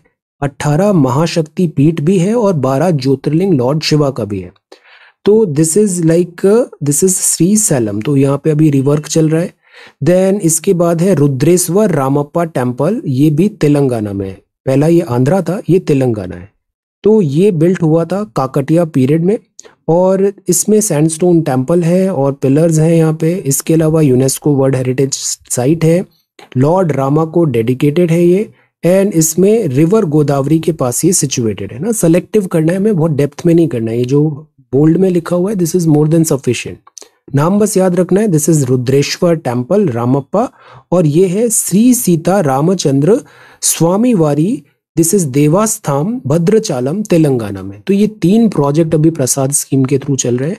एक है श्री सैलम का कुरनूल रुद्रेश्वर रामप्पा टेंपल और this is Sita Ram then other important news में आंकोर वॉट है। जैसे अभी आपसे पूछा था ना कंबोडिया के आंकोर वॉट तो इंडिया का एफर्ट है आंकोर वॉट टेंपल को हमको रिस्टोर करना है। And this temple is in Cambodia Cambodia Angkor Wat मतलब सिटी ऑफ़ टेंपल है। Surya Varman two early twelfth century में ये बनाया गया था ओके तो कंबोडिया में बहुत बड़ा ये एक सेंटर है। दिस अगेन टेल्स कि ये जो किंगडम्स थी, जैसे चोला था और जो हिंदुज़म था, ये पूरा स्प्रेड था इवन पूरे एशियन कंट्रीज़ में भी। Ambedkar circuit is very important ये टूरिस्ट ट्रेन का स्पेशल रूट है। इसमें मध्य प्रदेश का महू, जो अंबेडकर साहब का बर्थ प्लेस है, महाराष्ट्र का नागपुर, जहाँ पे बुद्धिज्म में कन्वर्जन था। दिल्ली का रेसिडेंट और महाराष्ट्र का दादर, जहाँ पे क्रिमेशन हुआ था। ये सारे अंबेडकर सर्किट में आते हैं। अब कुछ और पर्सनालिटीज न्यूज़ में है। जैसे हम बात करते हैं मठ। चार मठ है। ये जोशी मठ है, ज्योतिषी मठ, ये पुरी में है, पुरी, ये श्रृंगेरी है और ये द्वारका है। ऐसे इंडिया के चार कॉर्नर पे चार मठ बनाए थे शंकराचार्य जी ने। आदि शंकराचार्य जी हैं, आदि शंकराचार्य जी, आप अद्वैत वेदांता बनाते हैं। अद्वैत वेदांता को आपने, आपको प्रपोगेट किया आपने। आपने बात किया आदि शंकराचार्य जी ने फिलॉसफी फिलॉसफी ये थी, वेदांत फिलोसफी थी, अद्वैत वेदांता थी मतलब नॉन डुअलिज्म कोई अलग नहीं है, सब सेम है नॉन डुअलिज्म तो this is non dualism Veda and Upanishad को आपने आगे बढ़ाया। और नॉलेज को सुप्रीम रखा गया है कि हमें नॉलेज गेन करना चाहिए ट्रू सेल्फ सुप्रीम सोल का।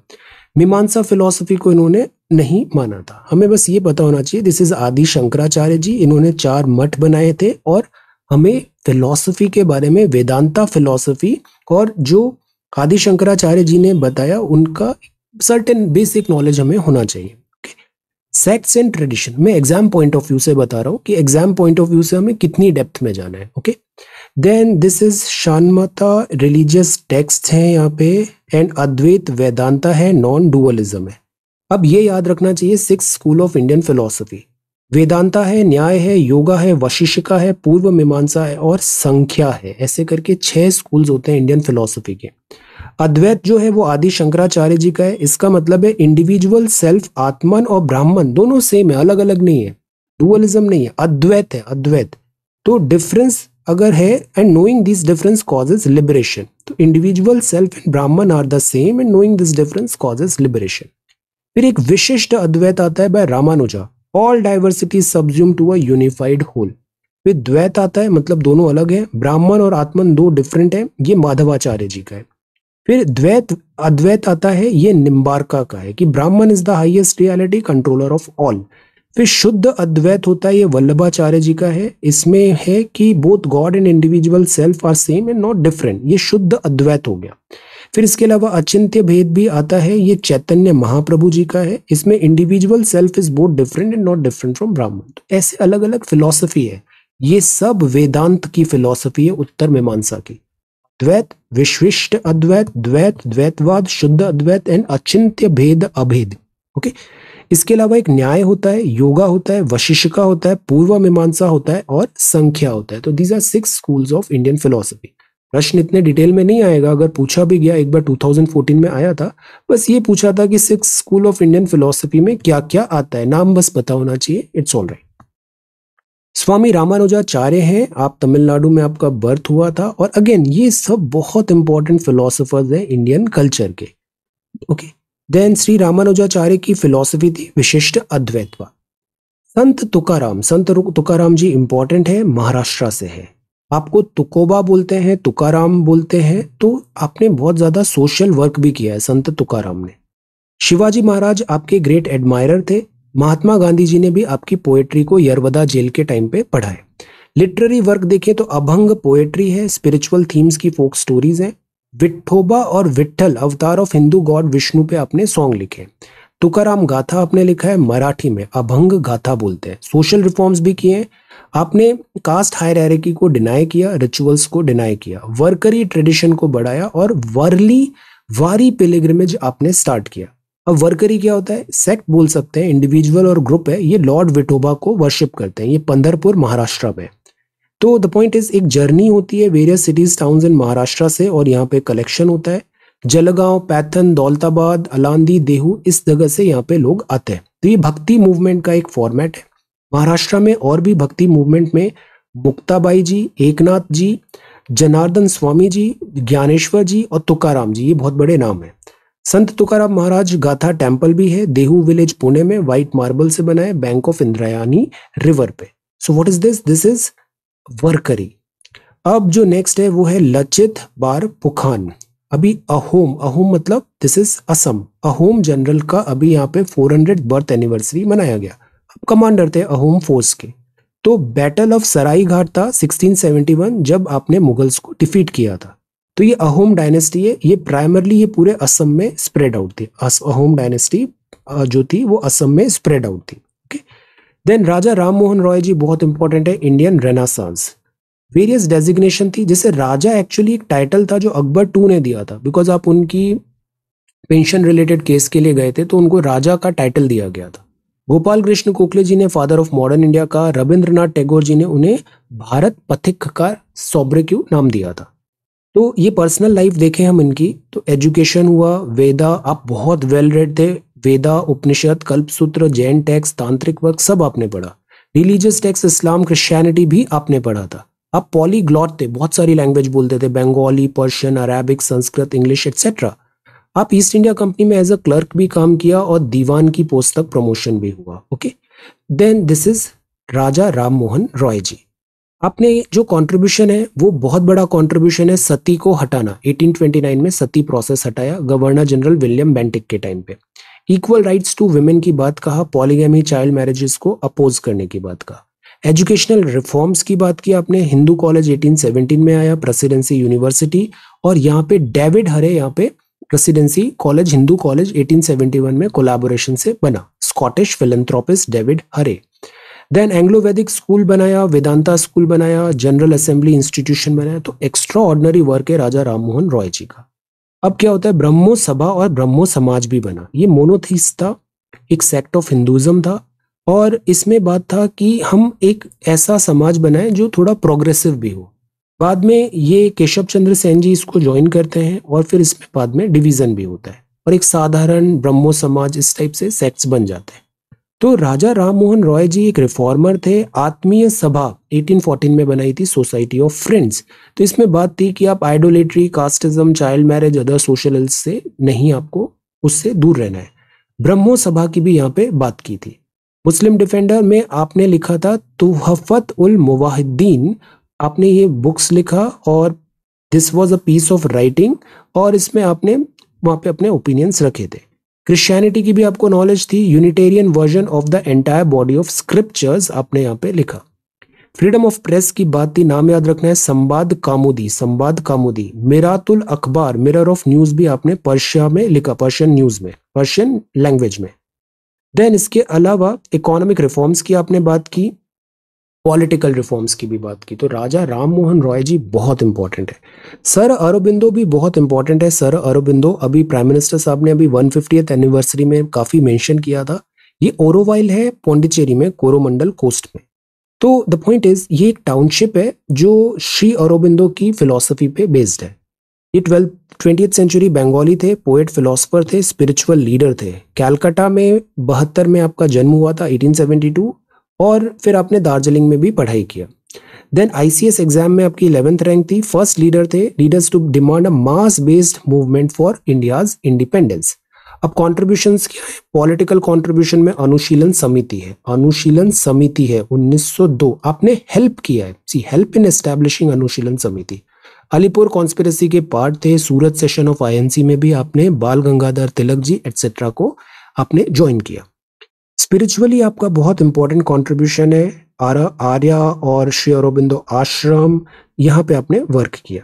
तो फाइव ड्रीम्स थे औरबिंदो के फिफ्टीन ऑफ़ अगस्त 1947 में कि हायर लार्जेस्ट कॉन्शियसनेस हो साइकिक स्पिरिचुअल प्रैक्टिस हो फेयर ब्राइटर नोबल मैनकाइंड बने liberation of Asia unity of India for its great future integral yoga की आपने बात किया, कुछ लिटरेरी कॉन्ट्रीब्यूशन है new lamps for old Indu Prakash जिसमें आपने Congress party etcetera political criticism किया। बंदे मातरम, नाम क्या है? बंदे मातरम, कर्म योगिनी और धर्मा, ये वीकली स्टार्ट हुआ। जुगांतर पत्रिका स्टार्ट किया आपने। इसके अलावा अपने रामायणा, महाभारत, इन सबको अपने ट्रांसलेशन भी किया। Bhavabhuti, Kalidasa, Upanishad etcetera essays on Gita Gita आपने लिखा poems and plays synthesis of yoga human cycle ideal of human unity Savitri a legend and a symbol तो बहुत एक्स्ट्रॉर्डनरी आपका वर्क है। कास्ट बेस्ड डिस्क्रिमिनेशन को आपने दूर करने को बोला और teachings of Shri Ramanujacharya non Vedantic philosophy of Swami Vivekananda ji और सनातन धर्म के आप बिलीवर थे। तो ये है श्री औरबिंदो आप हैं छत्रपति साहू महाराज जी, छत्रपति साहू महाराज जी लेजेंडरी किंग थे स्टेट ऑफ़ महाराष्ट्र। तो छत्रपति साहू जी महाराज।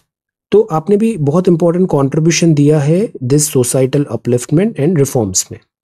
Then Alluri Sitarama Raju this is very important R R R one twenty fifth birth anniversary अभी यहाँ पे हुआ दिस इज़ आंध्रा तो आपका जन्म हुआ था गोदावरी डिस्ट्रिक्ट मद्रास प्रेसिडेंसी में। आप holy man and this referred कहा जाता है आपको, मानायाम वीरुडू रंपा रिबेलियन में आपने बहुत इंपॉर्टेंट रोल प्ले किया।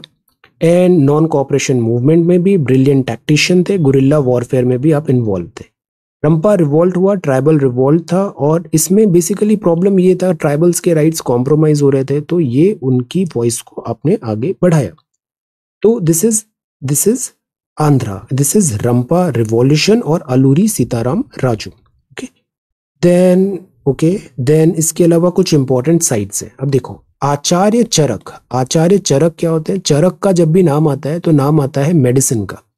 मॉडिफाइड महर्षि चरक शपथ नाम से अभी यहाँ पर मेडिकल एजुकेशन में दिलाने की बात है। जैसे हम जब एमबीबीएस डॉक्टर्स एटसेट्रा बनते हैं तो वो ओथ लेते हैं ओथ लेते हैं। आप बताओ किसकी ओथ लेते हैं? यूजुअली वेस्टर्न बट अब उसके बजाय हमने चरक शपथ दिलाने की यहाँ पे बात की थी अभी। तो दिस इज़ आचार्य चरक। तो ये आचार्य चरक है। Kashmir father of Indian medicine बोला जाता है आपको। किंग कनिष्क के कोर्ट फिजिशियन थे। वासुमित्र, अश्वघोष, नागार्जुन, पार्सवा आदि के आप साथ में थे। चरक संहिता है, जिसमें आयुर्वेदों के बारे, आयुर्वेदा के बारे में बताया, त्रिदोष, वात, पित्त और कफ के बारे में। चरक संहिता इज़ देर आप है देवाश्यम पिल्लय। आप हैं, आपको आपको फ़र्स्ट इंडियन लेमेन है to be declared a saint by the Vatican Chhatrapati Sambhaji Maharaj है। अभी जो औरंगाबाद एंड ओस्मानाबाद सिटी है, उनके अभी नाम चेंज हुए छत्रपति संभाजी नगर बोला गया है और धारा शिव बोला गया है तो इसलिए ये इंपॉर्टेंट है। दारा शिको है। अभी Arabic version of Majma ul Bahrain of Dara Shikoh, अभी वाइस प्रेसिडेंट साहब ने अभी रिलीज़ किया।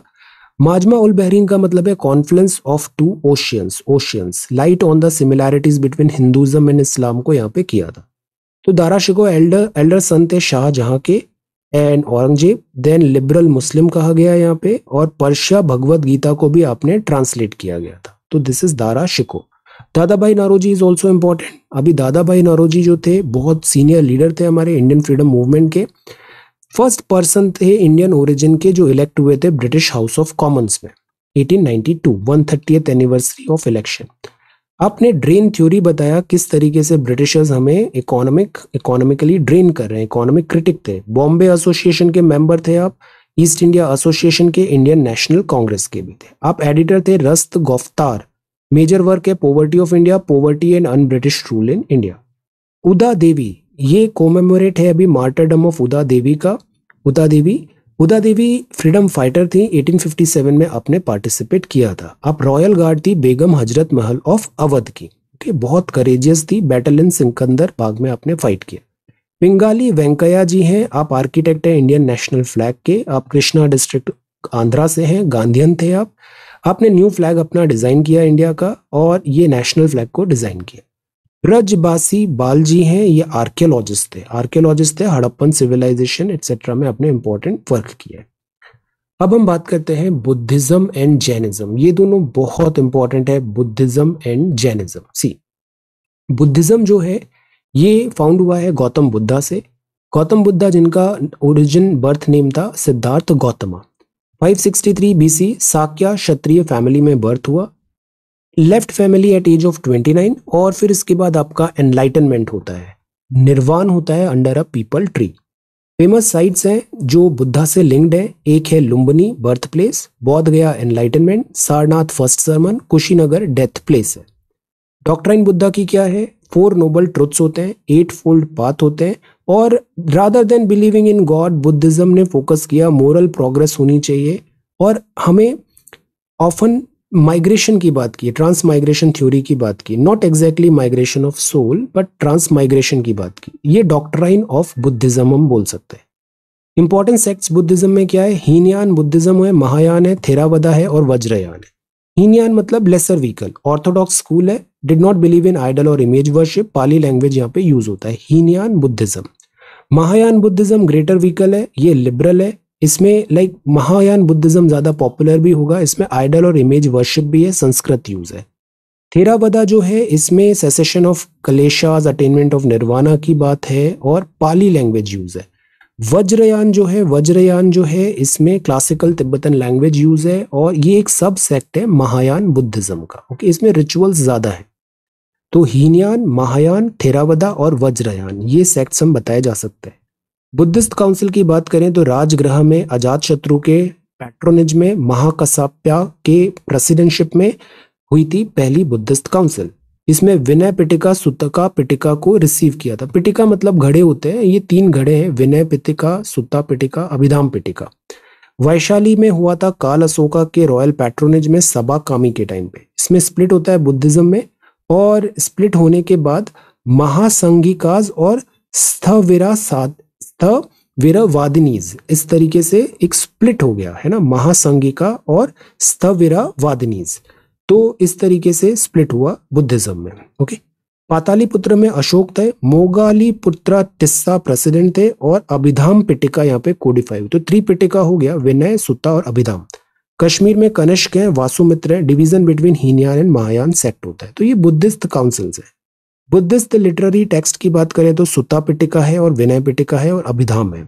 सुता मतलब we can say stories sermon of the Buddha's text है, जिसमें Buddhist section of the Buddhist canon हम बोल सकते हैं, सुता पिटिका। विनय में क्या होता है? विनय मतलब होता है रूल्स रूल्स है monastic life of monks and nuns तो ये बुक ऑफ़ डिसिप्लिन है।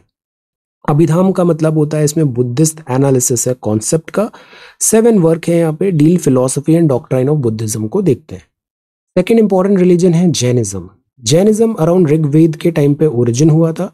इसमें बहुत सारे तीर्थंकर्स हैं। चौबीस तीर्थंकर हैं, चौबीस। Founded by a lineage of twenty four great teachers जिनको तीर्थंकर बोलते हैं। तो पहले तीर्थंकर थे ऋषभ देव जी, तेईसवें तीर्थंकर थे पार्श्वनाथ जी और चौबीसवें तीर्थंकर थे वर्धमान महावीर जी। तो जैनिज्म में दो सेक्ट हैं, श्वेतांबर और दिगंबर। 540 बीसी में वैशाली के पास बना था, वर्धमान महावीर जी बॉर्न हुए थे 540 बीसी वैशाली के पास मॉडर्न डे नॉर्दर्न बिहार आपके फादर थे सिद्धार्थ, जो चीफ थे this Jnatri clan mother Trishala थी, जो लिच्छावी प्रिंसेस थी। तो अगेन महावीरा का भी जो जो लिनेज है, वो like royal family we can say abandon किया household at the age of thirty और आपने कैवल्य लिया मतलब perfect knowledge at the age of forty two आपने प्रोपोगेट किए रिलीजन थ्रू कोसाला मगधा मिथिला और चंपा में. और 72 की एज में पावापुरी जो नियर प्रेजेंट डे राजगीर है, वहाँ पे आप पास हुए डॉक्ट्राइन ऑफ़ जैनिज्म में फाइव कार्डिनल वाउज हैं, जैसे do not speak a lie do not steal do not acquire property do not commit violence lead a celebrate life three ratna of Jainism है right conduct right knowledge right faith Jainism believe करता है जिना मतलब हमें हर living being को हमें respect देना है।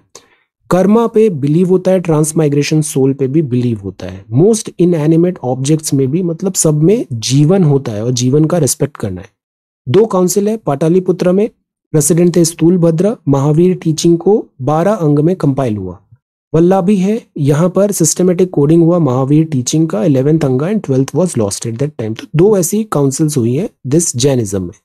यहाँ पे हम जब बुद्धिज्म पढ़ रहे थे तो डॉक्ट्राइन था फोर नोबल ट्रुथ क्या होते हैं और एट फोल्ड पाथ क्या होते हैं। आप बताओ, चार नोबल ट्रुथ क्या है और एट फोल्ड पाथ क्या है? तो बुद्धिज्म और जैनिज्म आर्कियोलॉजिकल रिमेन्स मिले हैं बांधवगढ़ फॉरेस्ट रिज़र्व में।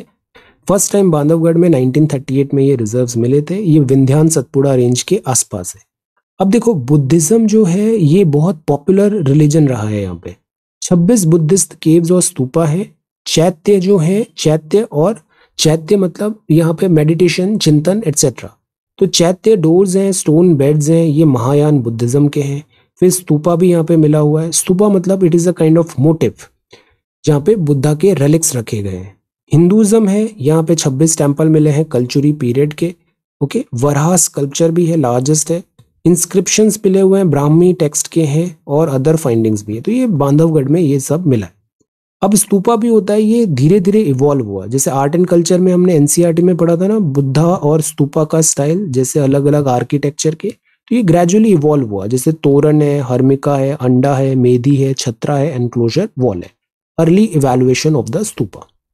Buddhist caves हैं एंड स्तूपाज हैं। स्तूपा जो होता है, ये एक मोन लाइक होता है। ये बरियल स्ट्रक्चर है जिसमें रेलिक्स ऑफ़ बुद्धा आते हैं। जैसे Sanchi stupa is very very famous vihara होता है जहाँ पे ड्वेलिंग होती है क्वार्टर्स होते हैं और जो चैत्य होता है, वहाँ पर आप प्रेयर्स करते हैं। कार्ला भजा रॉक्स भी है, ये लोनावाला, अजंता, एलोरा केव्स बाग केव्स ये सब बुद्धिस्ट केव्स एंड स्तूपाज है। अब यहाँ पे बात करें तो हेमिस्फेरिकल मोन्ड है, अंडा शेप डोम है, हर्मिका है, सेंट्रल पिलर है, छत्रा तोरण है और मेधी है। कुछ इंपॉर्टेंट न्यूज़ है, जैसे Lumbini. Lumbini is very important अभी प्राइम मिनिस्टर साहब जब भी इंडिया नेपाल टाइज की बात आती है, हम लुम्बिनी विज़िट करते हैं। तो लुम्बिनी जो है, ये birth place of lord Buddha कहा जा सकता है और कुशीनगर जो है, वो death place of lord Buddha तो ये यूनेस्को वर्ल्ड हेरिटेज साइट है बुद्धिस्ट विहार है, स्तूपा है। तो this is Lumbini. Asian Buddhist sites हैं, जैसे एएसआई ने उसको अभी डिस्कवर किया भीमा रिवर पे भीमा रिवर पे okay then Kanheri caves important है। मिनिस्ट्री ऑफ़ टूरिज़्म ने अभी कन्हेरी केव्स के बारे में बताया, यहाँ पे भी मंक्स रहते थे। ये संजय गांधी नेशनल पार्क जो बोरीवली, मुंबई है, उसके पास में है। तो कन्हेरी का मतलब वी कैन से कृष्ण गिरी और यहाँ पे हीनयान महायान वज्रयान सारे सेक्ट देखने को मिलते हैं। यहाँ पे फाहयान का भी स्क्राइब्ड है मेंशन रेफरेंस ओके इसको पैट्रोनेज मिला था सतवाहना का ओके वाकटकास का भी था। सीता नवसल है। सीता नवसल जो है, ये जैन हेरिटेज साइट है तमिलनाडु में, जैनिज्म। तो दिस इज़ सीता नवसल। ये सेकेंड सेंचुरी रॉक केव है यहाँ पे और महावीर की स्टैचू है यहाँ पे मेडिटेशन हॉल है, पांड्या पेंटिंग है। Then this is Nyingma sect है बुद्धिज्म का। री इनकारनेशन ऑफ़ लेट टाकलुंग यहाँ पे बुद्धिज्म से रिलेटेड है। ये तिब्बतन तांत्रिक स्कूल है, तिब्बतन तांत्रिक स्कूल है। देन ये है पर्यूषण पर्व। पर्यूषण पर्व क्या होता है? ये इंपॉर्टेंट जैन फेस्टिवल होता है। रेनी सीज़न में आता है। इसमें Jain monks and nuns cease travelling and stay with the community because actually most of the time they are travelling but because of rains travel नहीं हो सकता तो वो स्टे करते हैं विद द विद कम्युनिटी और उनको इंस्ट्रक्शन एंड गाइडेंस भी देते हैं। तो पर्यूषण का मतलब होता है अबाइडिंग और कमिंग टूगेदर ये कन्फेशन होता है फॉरगिवनेस होती है for the transgression of the previous year Aparigraha का मतलब होता है नॉन पोजेशन होना चाहिए, Aparigraha. It is also one of the yama जो Patanjali eight limbs of yoga में भी बताया गया। परि, अपरिग्रह अपरिग्रह। अब एक और न्यूज़ जो काफ़ी बनी हुई है, वो है नेवल ट्रेडिशंस इन इंडिया जैसे जो नेवल एनसाइन था फ्लैग था, उसमें पहला जो पैटर्न था वो ये था, अब बदल के वो न्यू एनसाइन बन गया है। तो ये आई एन एस विक्रांत अभी कमीशन हुआ, उसके टाइम पे ये अभी डिस्प्ले हुआ। Role played by the navy navy again बहुत इंपॉर्टेंट होती है. नेवल स्ट्रेंथ सुपीरियर रहना बहुत ज़रूरी है स्पेशली इंडियन ओशन में इंडिया का. हमारा ट्रेडिशन भी बहुत अच्छा रहा है हिस्ट्री अच्छी रही है. क्रिएटिंग ट्रेड रूट्स हमने बनाए मेसोपोटामिया गुप्ता एम्पायर ने भी. एक्सटर्नल लिंक्स थे मॉरियन एम्पायर ने रिलेशंस एस्टेब्लिश किए और बुद्धिज्म को प्रपोगेट भी किया. सी बॉर्डर्स जो थी तो उसमें भी मौर्य चोला और मराठा डायनेस्टी की जो नेवल स्ट्रेंथ थी, वो काफ़ी डोमिनेट करती थी। साइंटिफिक एक्सचेंज भी यहाँ पर हुआ था। तो ये जो एनसाइन होता है, इसमें ब्रिटिश हैंगओवर भी दिख रहा था कॉलोनियल हैंगओवर तो दैट इज़ वाई हमने ये नया एनसाइन अभी इन्वॉल्व किया है। ओल्ड नेवल एनसाइन था, इसमें सेंट जॉर्ज क्रॉस था। अभी जो नया है, इसको पहले भी कई बार चेंज किया जा चुका है, ये अभी चेंज हुआ है। इसमें सील ऑफ़ छत्रपति शिवाजी महाराज अभी आई है। एक ब्लू ऑक्टागोनल शेप है नेशनल एम्बलम है एंकर है, जो एक स्टेड फास्टनेस दिखाता है। एट डायरेक्शंस ऑक्टागोनल बताता है मल्टी डायरेक्शनल रीच है और हमारी ऑपरेशनल कैपेबिलिटी इंडियन नेवी को ग्लोरीफाई करता है। ट्विन गोल्डन बॉर्डर्स हैं, जो इंस्पिरेशन ड्रॉ करते हैं छत्रपति शिवाजी महाराज से। अब अगर हम देखें तो वैदिक लिटरेचर में भी बोट शिप और सी की बात थी, ऋग्वेद में भी बात थी merchant sailing ships across the oceans किस तरीके से हो रहा है पुराना में भी सी वॉयजेस की बात है। आईवीसी में भी हमने शिप्स और टाइट जैसे डॉकयार्ड अभी हमने पढ़ा था लोथल में तो ship and sea voyages and travel का प्रोविज़न था। मौर्यन डायनेस्टी में मैरिटाइम था मेगास्थनिस का था, अर्थशास्त्र में भी लिखा हुआ है वाटरवेज अंडर नावध्यक्ष नावध्यक्ष मतलब ship and now. Chola period में ये फर्दर और एक्सपैंड होता है और जैनित आता है राजेंद्र चोला। राजेंद्र चोला में इवन एशियन कंट्रीज़ भी इंडियन नेवी के अंदर आ गई थी। सतवाहना डायनेस्टी होती है जो ईस्ट कोस्ट को कंट्रोल करती है। देन गुप्ता डायनेस्टी में भी फायान हुन से तंग ने नेवी के बारे में मैरीटाइम ट्रेड के बारे में बताया है। सदर्न डायनेस्टीज होती है चेरा के टाइम पे भी ये फ्लरिश हुआ पांड्यास के टाइम पे भी फ्लरिश हुआ। सो नेवी हमेशा से मेन स्टे रहा है। मुगल मराठा मैसूर के जब आए और यूरोपियंस भी आए तो यूरोपियंस का नेवल स्ट्रेंथ थोड़ा हमसे बेहतर था और ये प्राइमरी रीजन था कि उन्होंने इंडिया को कोलोनाइज किया। स्पेशली पोर्तुगीज एटसेट्रा से ये स्टार्ट हुआ। टीपू सुल्तान के टाइम पे नेवल पावर को स्ट्रेंथन करने की बात थी। मराठा नेवी जानी जाती है। मराठा नेवी की बहुत अच्छी रेपुटेशन थी। ये सूबाज डिवीज़न में डिवाइडेड थी। एंड इसमें जैसे कुछ फाइटिंग शिप्स होती थी, कुछ रिकनासांस की होती थी, कुछ trade and carry carry like transportation की शिप्स होती थी like that so merchant ships हैं फाइटिंग शिप्स हैं तो मराठा नेवी भी नेवल स्ट्रक्चर काफ़ी अच्छा था। छत्रपति शिवाजी महाराज के टाइम से फाउंडेशन दली थी मॉडर्न नेवल फोर्स की सत्रहवीं शताब्दी में। सो दैट इज़ वाई ये जो एनसाइन आया है, इसमें इस सील को इंक्लूड किया गया कोंकण कोस्ट में, कोंकण कोस्ट में नेवल प्रेजेंस थी। पोर्तुगीज से भी हमने काफ़ी लेसन बाद में हम सीखेंगे। तो मेजर नेवल इवेंट्स क्या होती है? ये महाराष्ट्र की, मराठा की हिस्ट्री में होती है ओके तो ये है अभी एक नया जो एम्बलम आया है this is new and sign of this navy okay जो अभी आईएनएस विक्रांत में हमने लगाया नेवल शिप में ओके अब जो नेक्स्ट है, वो है this national symbols of India ये हमारा नेशनल फ्लैग है। स्टेट एम्बलम हमारा ये होता है। सारनाथ के लायन कैपिटल है और इसमें seal of Republic of India है ये। अब बताओ ये कितने लायंस हैं? How many lions are there national anthem है, ये रविंद्रनाथ टैगोर जी ने कंपोज किया है। नेशनल सॉन्ग है, ये बंकिम चंद्र चटर्जी जी ने आनंद मठ में को लिखा था और वहाँ से हमने इसका कुछ पार्ट पिक किया है बंकिम चंद्र चटर्जी जी। नेशनल कैलेंडर हम साका बेस्ड इरा मानते हैं और चैत्र पहला महीना होता है और नॉर्मल ईयर में तीन सौ पैंसठ दिन होते हैं। ये 22 मार्च उन्नीस सौ सत्तावन को हुआ था। ग्रेगोरियन कैलेंडर भी है और दिस साका इरा कैलेंडर भी है। ऑफिशियल वर्क के लिए हम ग्रेगोरियन ले लेते हैं और नेशनल कैलेंडर हम साका इरा को मानते हैं। ये ascension of king Shalivahana to the throne in 78 AD के बेसिस पे है। नेशनल बर्ड जो है वो है पिकॉक नेशनल एनिमल है टाइगर नेशनल फ्लावर है लोटस नेशनल ट्री है Indian fig tree fig tree black code में अमेंडमेंट्स हैं। अगर कुछ चेंजेस करने हैं, जैसे इसका डायमेंशन है टू बाय थ्री का होता है रेक्टेंगल होता है, तीन कलर होते हैं इसमें।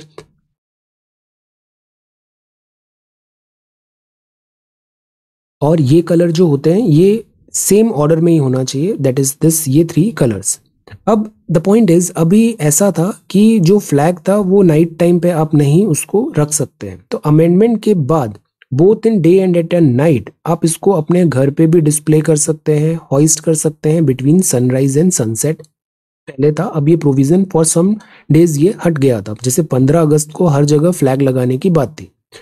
तो ये फ्लैग कोड होता है। फ्लैग कोड होता है। दिसंबर 2021 में इसको अमेंडमेंट हुआ। अब पॉलिस्टर भी हो सकता है apart from cotton wool silk and khadi. Polyester के फ्लैग भी बन सकते हैं। अमेंडमेंट में हर घर तिरंगा कैंपेन के थ्रू था। हर घर में हमें तिरंगा लगाना है। फ्लैग कोड वैसे 2022 में आया था। It was about use display hosting of national flag government because Tiranga is our like our आन बान शान तो ये पूरे ऑनर के साथ डिस्प्ले होना चाहिए। नेशनल फ्लैग एट होम की बात करें तो a member of public private organisation education institution national flag को डिस्प्ले कर सकता है, पर उसकी डिग्निटी एंड ऑनर कॉम्प्रोमाइज नहीं होना चाहिए। स्टेट एम्बलम की बात करें तो अभी स्टेट एम्बलम एक है, जो क्रिएट हुआ Parliament building Central Vista project में, जो लायंस है। ये चार लायंस हैं, ये मॉरन एम्पर अशोका के टाइम के हैं। और यहाँ पर धर्म चक्र प्रवर्तन मतलब पहला जो सरमन एनलाइटनमेंट दिया था, उससे रिलेटेड है। फोर नोबल ट्रूथ है तो ये फोर लायंस है। नेशनल एम्बल में ग्राफिकल रिप्रेजेंटेशन है लायन कैपिटल का। अशोका पिलर सारनाथ से पिक्ड है। नेशनल मोटो जो है हमारा, वो मुंडका उपनिषद से आया। आप बताओ नेशनल मोटो क्या है? फाइव स्टूडेंट्स हैं, जो नंदलाल बोस रिनाउंड आर्टिस्ट हैं। इनके साथ ये एम्बल्म बनाया गया है। कॉन्स्टिट्यूंट असेंबली में सारनाथ पिलर जो है नेशनल एम्बलम की बात किया। सत्यमेव जयते ट्रुथ अलोन ट्राइम्स है। दिस इज़ देवनागरी स्क्रिप्ट और ये नेशनल एम्बलम से लिंक्ड है। ये जो स्टेट एम्बलम है, इसमें चार मेजेस्टिक लाइन्स होते हैं। ये चार कार्डिनल डायरेक्शंस को देख रहे हैं। ये पावर करेज प्राइड और कॉन्फिडेंस बताते हैं। कैपिटल हॉलिस्टिकली सिंबलाइज करता है stress on equality and justice in all spheres of life तो ये गार्डियंस ऑफ़ फोर डायरेक्शन है। तो तीन दिखते हैं, बट वहाँ पे चार लाइन है। यहाँ एक एलिफेंट भी है। ये कंसेप्शन ऑफ़ प्रिंस सिद्धार्थ बताता है। यहाँ एक बुल है, जो प्रिंस सिद्धार्थ का युद्ध बताता है। यहाँ पे हॉर्स है तो वो एनलाइटनमेंट बताता है। और एक लायन भी है, जो बताता है enlightenment under the peepal tree और ट्रांसफॉर्मेशन एज बुद्धा। बुद्धा का मतलब क्या होता है? कैन यू आंसर धर्म चक्र है मतलब व्हील ऑफ़ लॉ है। चौबीस स्पोक्स है यहाँ पे। और इसमें ये बता रहा जा रहा है कि किस तरीके से ये फॉरवर्ड मूव कर रहा है लाइफ में। तो कीप मूविंग स्टैग्नेशन नहीं होना चाहिए, आगे बढ़ते रहना चाहिए। न्यूमिस्मैटिक्स मतलब कॉइन्स होता है। न्यूमिस्मैटिक हिस्ट्री ऑफ़ इंडिया तो इसमें कॉइन्स की हिस्ट्री है। जैसे करेंसी स्टार्ट हुआ, पहले इंट्रेंसिक वैल्यू था, पहले बार्टर था, फिर इंट्रेंसिक हुआ, फिर हम सिक्के लेके आए। और सिक्कों में भी फिर हमने ऐसा किया कि जो कॉइन्स थे, जो कॉइन्स थे, इन कॉइन्स को, इन कॉइन्स को अलग अलग अलग अलग कंपोनेंट्स अलग अलग एरा में इस तरीके से डिक्लेयर हुआ था ओके तो ये न्यूमिस्मैटिक्स की स्टडी होती है। कॉइन्स इस तरीके से आए इंडिया में। एंशियंट इंडियन कॉइन्स थे। में बहुत ज़्यादा डवेल नहीं करते हैं। इंडो ग्रीक में भी आए थे कुशान आए थे। हर एरा में कुछ सिक्के यहाँ पे इन्वॉल्व हुए थे, सिक्के आए थे। दिल्ली सल्तनत ने भी सिक्के स्टार्ट किए थे। खिलजीज के सिक्के थे, लोधी के सिक्के थे। और फिर एक टोकन करेंसी भी स्टार्ट होता है, तुगलक के टाइम पे टोकन करेंसी ब्रिटिश इंडिया के कॉइन्स आते हैं, ब्रिटिश भी अपने कॉइन्स निकालते हैं, जैसे प्रिंस विलियम फोर के नाम पे इंडियन कॉइनेज एक्ट्स लेके आते हैं। तो ये सब होता है न्यूमिस्मैटिक्स अब एक वर्ड है पाणिनी कोड पाणिनी कोड ये इंडियन स्कॉलर है। ये एक मेटा रूल आपने बताया था between two rules of equal strength using the rule that comes later in grammar's serial order तो पाणिनी की ग्रामर पाणिनी की ग्रामर संस्कृत ग्रामर में आपका काफ़ी नाम है। अष्टाध्यायी अष्टाध्यायी संस्कृत ग्रामेरियन थे। अष्ट, अष्टाध्यायी था ये, और अष्टाध्यायी और इसमें एल्गोरिदम की बात है, और फिर ये बाद में आर्टिफिशियल इंटेलिजेंस मशीन लर्निंग इन सब में भी लिंक होगा।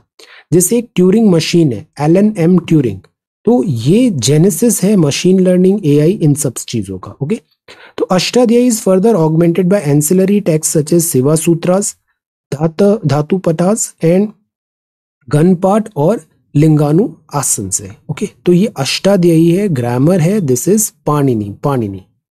Then intangible cultural heritage ICH का अभी एक कॉन्फ्रेंस हुआ यूनेस्को का है, okay? Then Swadesh Darshan scheme this is important Swadesh Darshan scheme तो स्वदेश दर्शन मतलब एक्चुअली हमें अपनी कंट्री के बारे में पता होना चाहिए कि India is such a big country huge diversity हमें इसकी सारी चीज़ें पता होनी चाहिए। तो ये स्वदेश दर्शन है।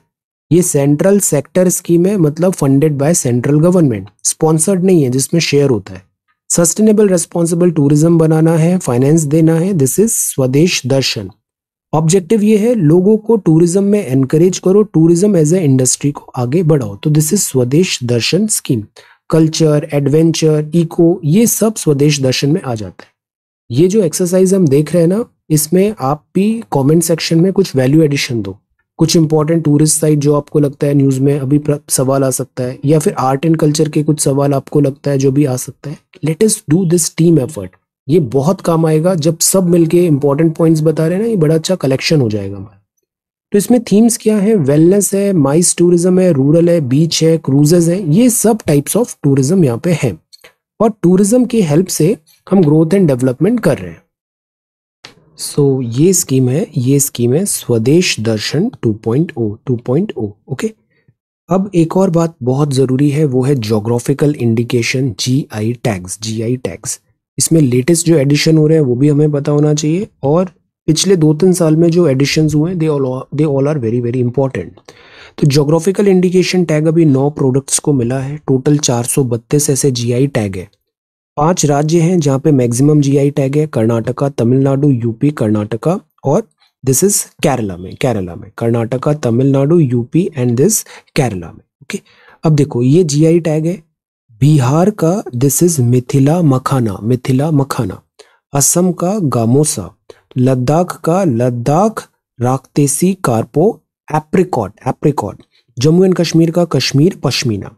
महाराष्ट्र का अलीबाग व्हाइट अनियन है और पुरंदर के फिग्स हैं। तेलंगाना का तंदूर रेड ग्राम है। केरला में ये है Onattukara Ellu. Then this is Kodungallur, Pottuvellari. And this is garlic ये गार्लिक है, ये मेलन है और ये एलू है।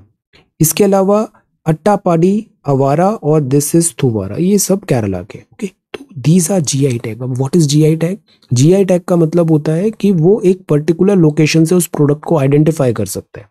For example you can identify a good as originating in territory of a member or a regional locality in that territory. So this is gi tag. ये TRIPS में defined है। रजिस्ट्रेशन होता है जीआई टैग का 10 साल के लिए, वो रिन्यू भी किया जा सकता है।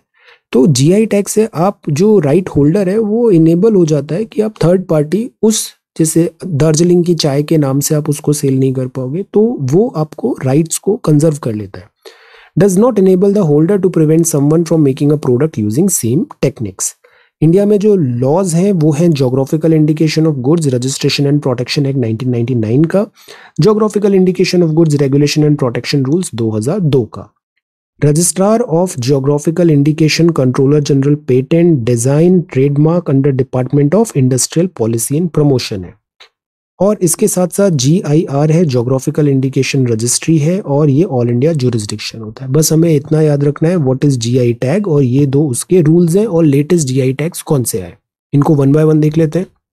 गामोसा ये क्या होता है? जैसे ये एक कपड़ा होता है गमछा जिसे अक्सर बोलते हैं सेंट्रल इंडिया नॉर्थ इंडिया में so this is gamosa Assamese gamosa is mostly woven out of white thread with colorful intricate inlays in red. Traditional textile है ग्रेट सिग्निफिकेंस है पीपल ऑफ़ असम के लिए। इसको बिहुवान भी बोलते हैं बिहू बिहू वैसे भी फेस्टिवल असम का है। ये अलीबाग के वाइट अनियन है, ये महाराष्ट्र में है, अलीबाग महाराष्ट्र में है। यहाँ लो सल्फ़र कंटेंट है जियो क्लाइमेटिक कंडीशंस में। स्ट्रॉन्ग ऑर्डर ऑर्डर नहीं होता है इनका लाइक द स्टैंडर्ड अनियन जो कॉमनली मार्केट में मिलते हैं, ये थोड़े स्वीट टेस्ट के होते हैं तो ये महाराष्ट्र के ये तांदुर का रेड ग्राम है, ये ट्रेडिशनल क्रॉप है। रेनफेड ट्रैक्ट तेलंगाना में मिलती है, इसमें 22 से 24 प्रतिशत प्रोटीन होता है।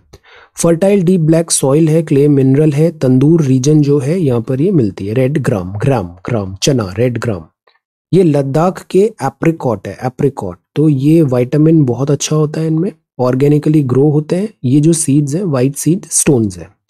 देन दिस इज़ थुवारा ये है थुवारा ये है केरला का इंपॉर्टेंट ट्रेडिशनल क्रॉप है, ठीक है? वाइट कोट होता है इसका और इसमें कार्बोहाइड्रेट वगैरह अच्छा है। एलू है, ये केरला का है, ये ऑयल सीड की क्रॉप है ऑक्सीडेंट भी होती है एंटीऑक्सीडेंट होता है इसमें। केरला में ही एक है पोटू वेलारी ये मेच्योर्ड फ्रूट होता है, जिससे जूस बनता है वेजिटेबल्स में भी यूज़ होता है और वाइटामिन सी में भी इसको काफ़ी इंपॉर्टेंस है सिग्निफिकेंस है वाइटामिन सी का सोर्स है। ये अवारा है, ऐसे बीन्स टाइप या अवारा होता है, ये पलक्कड़ में होता है। इसमें एंथोसाइनिन होता है, जो वॉयलेट कलर आता है इसमें। ये कार्डियोवास्कुलर डिसीजेस के लिए काफ़ी यूजफुल होता है। फिर एक गार्लिक हो गया दिस इज़ केरला का गार्लिक यहाँ सल्फाइड अच्छे हैं और एलिसिन है ओके तो ये कुछ टैग्स हो गए। बाकी दूसरे कुछ और टैग्स भी न्यूज़ में है। एक बनारसी पश्मीना पश्मीना, केवीआईसी ने अभी लॉन्च किया है बनारसी पश्मीना, वाराणसी में। ऐसा पहली बार है कि pashmina product are being produce outside Leh Ladakh of Jammu and Kashmir तो ये बनारस में बन रहा है। जो चांग थांगी है चांग थांगी पश्मीना गोट है, उससे कैश्मीर वूल आता है और उससे पश्मीना बनती है। चांग थांगी पश्मीना जो गोट है, ये स्पेशल ब्रीड ऑफ़ गोट होती है। ये हाई एल्टीट्यूड रीजन लद्दाख में मिलती है और इसको जीआई टैग भी मिला हुआ है। मिथिला के मखाना है, मिथिला के मखाना को जीआई टैग मिला है, मिथिला मखाना। ये एक एक्वाटिक फॉक्स नट कहलाता है प्रोटीन फाइबर बहुत होता है इसमें और ये मिथिला रीजन में काफ़ी कल्टीवेशन होता है। ये पुरंदर के फिग्स है फिग्स दीज आर फिग्स तो ये पुणे के पास मिलते हैं ड्रायलोमी सॉइल है सेमी अरिड जोन है, पुरंदर के फिग्स देन काला नमक राइस ये भी बहुत इंपॉर्टेंट है। आई ए आर आई ने दो ड्वाफ वेराइटी काला नमक की अभी डेवलप की है। पूसा नरेंद्र काला नमक और Pusa Narendra one six five two तो द पॉइंट इज़ ये resolve the issue of lodging Kala Namak जो है, ये मिलता है आपको बुद्धा राइस भी बोलते हैं इसे। बुद्धा राइस भी बोलते हैं। ये जो मिलता है, ये रिच होता है माइक्रो में आयरन जिंक भी होता है अल्जाइमर भी इससे कम होता है। 2013 में इसको जीआई टैग मिला था। तो दिस इज़ काला नमक काला नमक निकोबारी होडी है। निकोबारी होडी एक क्राफ्ट होता है जिससे ट्रेडिशनल ट्राइब्स का क्राफ्ट है और ये एक कैनोए है मतलब this for samudra. Locally available trees से बनती है ये और आइलैंड टू आइलैंड ट्रांसपोर्टेशन में काम आती है। Then this is nihonshu nihonshu Japanese embassy ने अभी जीआई टैग के लिए अप्लाई किया है। निहोनशु ये बेवरेज है जो फर्मेंटिंग राइस से बनता है। जीआई टैग मिला गया है इसे भी, और दिस इज़ जापानीज निहोनशु अब करते हैं कुछ फेस्टिवल्स की बातें। तो पहला फेस्टिवल है बाली यात्रा अभी इसको जी ट्वेंटी समिट में प्राइम मिनिस्टर साहब ने अगेन मेंशन किया था बाली यात्रा ये बहुत बड़ा ओपन एयर फेयर है। तो बाली यात्रा फेयर होता है, जिसमें कल्चरल लिंक हम एशियन कलिंग मतलब आज का उड़ीसा और बाली मतलब Asian region Java Sumatra Borneo, Burma, इसको लिंकेजेस को हम कनेक्ट कर रहे हैं। तो ये हमारा फॉरेन रिलेशंस में भी बहुत इंपॉर्टेंट है, बाली यात्रा। ये बैंक ऑफ़ महानदी में होता है, कार्तिक पूर्णिमा में, और festival is like Masakapan ke Tukad festival of Bali so this is again linkages ये हमारी सॉफ्ट पावर है। कलिंग कनेक्शन बाली से है, जिसे बहुत सारे टेंपल सिमिलर है है ना? देन इसके अलावा कल्चर भी सिमिलर है, स्क्रिप्ट भी सिमिलर है। एक्चुअली ये पूरा जो एशियन कंट्रीज़ है श्रीलंका भी एशियन ये सब इधर इंडियन कल्चर बहुत प्रोमिनेंट था। मैरीटाइम हिस्ट्री है कलिंग एम्पायर की, ठीक है। अब कुछ इंपॉर्टेंट हम new year map of India देखते हैं new year map of India तो ये न्यू ईयर फेस्टिवल्स हैं in different region of India Navreh कहाँ पे होता है? Jammu and Kashmir. Baisakhi usually north India में होता है, पंजाब के आसपास। ये बोहाग बिहू है this is in Assam Losoong होता है सिक्किम में। साजिबू चेराउबू होता है मणिपुर में। साजिबू चेराउबा होता है मणिपुर का। ओहेला बैसाख है बंगाल। बिसुआ संक्रांति है उड़ीसा। पुत्थु नाडु है तमिलनाडु। विशु होता है केरला में। उगाड़ू होता है कर्नाटका, आंध्रा, तेलंगाना में। गुड़ी पड़वा है महाराष्ट्र का और बेस्टू वरस होता है वरस वैसे भी गुजरात, इधर का ये वर्ड है। तो मार्च, अप्रैल अप्रैल, अक्टूबर, नवंबर, दिसंबर। कुछ हम इंपॉर्टेंट फेस्टिवल्स देखते हैं। इंडिया में मैक्सिमम जो होते हैं ना, वो हार्वेस्ट फेस्टिवल्स मनाते हैं हम हार्वेस्ट फेस्टिवल जैसे लद्दाख में लोसर फेस्टिवल है। असम में अंबुबाची मेला है। नागालैंड में हॉर्नबिल है। मणिपुर में संगई फेस्टिवल है।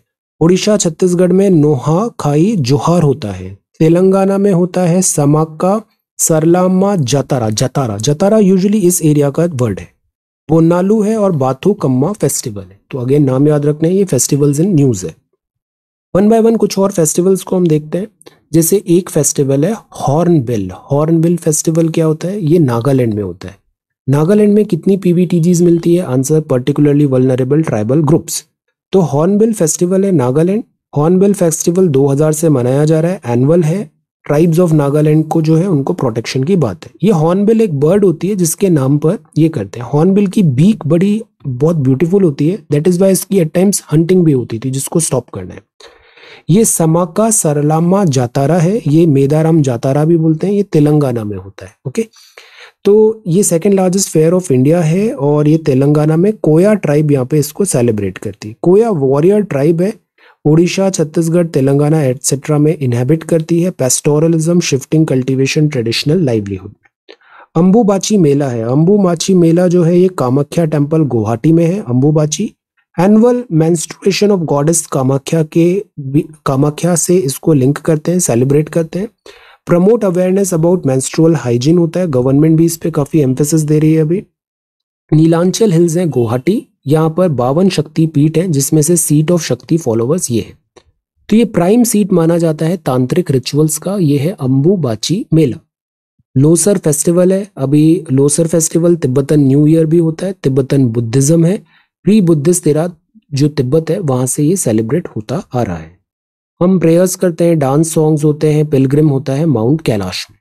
नुआखाई जोहर है, ये है दिस इज़ ओडिशा छत्तीसगढ़ में ये सेलिब्रेट होता है। नुआखाई जोहर। संगई फेस्टिवल है, ये मणिपुर संगई फेस्टिवल है, ये स्टेट एनिमल संगई होता है और ये डियर मिलता है मणिपुर में। केबुल लामजाओ नेशनल पार्क है ओवर फ्लोटिंग बायोमास यहाँ पे फुमडीज होता है, फुमडीज। एनुअल कल्चरल फेस्टिवल है। लोकल एग्जिबिट करते हैं अपनी स्किल्स नेटिव स्पोर्ट्स में मार्शल आर्ट्स थांगटा। थांगटा कहाँ का है? मणिपुर का। दिस इज़ मार्शल आर्ट अब सारे नाम बताओ, जितने भी मार्शल डांस फॉर्म्स इंडिया के हैं name it spear and sword skills होता है। सागोल कांगछे ये इंडिजिनस फॉर्म ऑफ़ पोलो भी ये संगई में देखने को मिलता है। संगई डियर भी है। नवरोज पारसी का होता है। ये जोराशियन कैलेंडर होता है कैलेंडर होता है इरेनियन कैलेंडर होता है। Spring equinox twenty first of March को ये बताते हैं। ओके तो पारसी कम्युनिटी के लिए ये बहुत इंपॉर्टेंट फेस्टिवल है। ओके जमशेद ए मह this is Navroz Persian king Jamshed के नाम पर है। List of UNESCO intangible cultural sites में भी ये इंक्लूडेड है। काशी तमिल संगम को बहुत अभी हाईलाइट किया जा रहा है मिनिस्ट्री ऑफ़ एजुकेशन काशी मतलब this is south this is north and Tamil मतलब साउथ काशी तमिल। तो रीडिस्कवर करना है centuries old bond of knowledge को बनारस और तमिलनाडु के बीच में। तो deep academic economic social cultural relationship की बात है। इंस्टीट्यूट ऑफ़ आईआईटी मद्रास और बीएचयू में भी टाइज हो रहे हैं। और यहाँ पे काशी एंड तमिलनाडु के बीच में हम संगम की, हमनी लिंक्स को हम रीडिस्कवर कर रहे हैं। कुछ प्राइजेस हैं। संगीत नाटक अकादमी, ललित कला अकादमी अवार्ड कॉन्फर करती है। अब देखो, संगीत नाटक अकादमी क्या होता है? Artist teachers scholars performing arts के लिए इनको देते हैं। ये अपेक्स बॉडी होती है। 1953 में बनी है। इंटेंजिबल आर्ट्स को हम बढ़ाते हैं। ललित कला अकादमी भी ये विजुअल आर्ट्स के लिए होती है। विजुअल आर्ट्स के लिए होती है। ठीक है?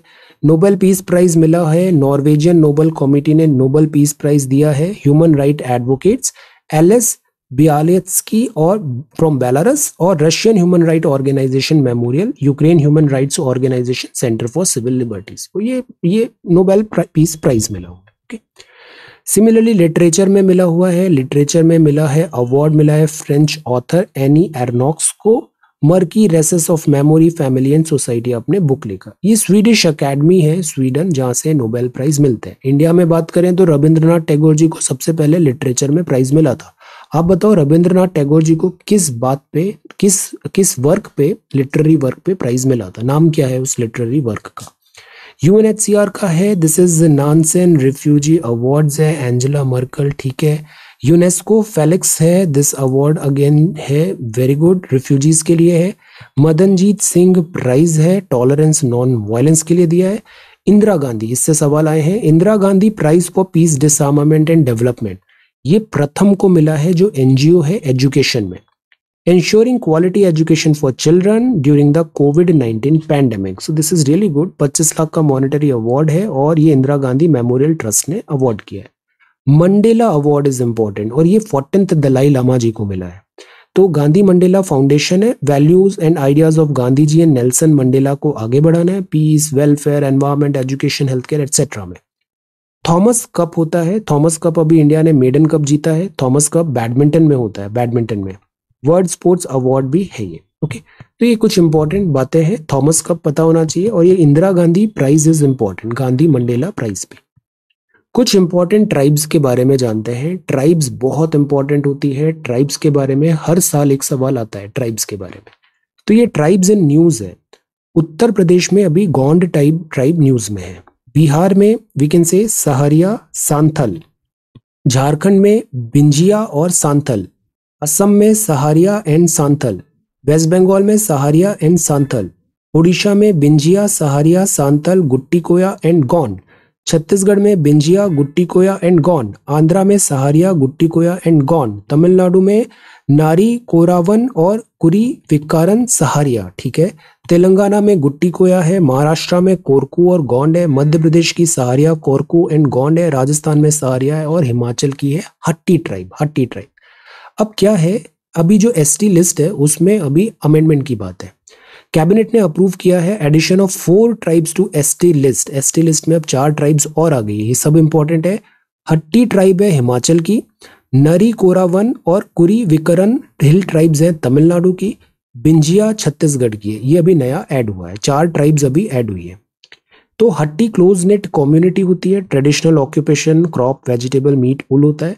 नारी कोरावन जैकाल कैचर होते हैं और कुरु विकारास बर्ड बर्ड ईटर्स होते हैं। ये नोमैडिक ट्राइबल ट्राइब्स हैं तमिलनाडु से। बिंजिया एथनिक ग्रुप उड़ीसा और झारखंड में देखने को मिलता है। सहारिया जो होते हैं, ये फ़ूड इन्फ्लेशन के कारण अभी बहुत वलनरेबल हो गए हैं। मध्य प्रदेश में मिलते हैं। ये पीवीटीजीज में भी क्लासिफाइड है। मुंडा लैंग्वेज है ऑस्ट्रो एशियाटिक लैंग्वेज है स्लैश एंड बर्न कई जगह यूज़ करते हैं ये, और this millet sorghum gourds wild rice use करते हैं। Santhal is very very important Droupadi Murmu ma'am जो है प्रेसिडेंट ऑफ़ इंडिया आप सांथल कम्युनिटी से हैं। अभी आप प्रेसिडेंट ऑफ़ कंट्री हैं फ़र्स्ट पर्सन ऑफ़ कंट्री है। सांथल कम्युनिटी है, ये थर्ड लार्जेस्ट शेड्यूल्ड ट्राइब है आफ्टर गॉन्ड एंड भील ये वेस्ट बंगाल, बिहार, उड़ीसा, झारखंड, असम में मिलता है। आप सांथली बोलते हैं और स्क्रिप्ट होती है ऑलचिकी। फेस्टिवल में करम फेस्टिवल है, माघे, बाबा बोंगा, ये सब फेस्टिवल सेलिब्रेट होते हैं। सांथल हु 1855-56 में रिवॉल्यूशन भी हुआ था, ओके? तो दिस इज़ सांथल ट्राइब्स गुट्टी गोया ट्राइब है, ये ग्रुप ऑफ़ आदिवासी है।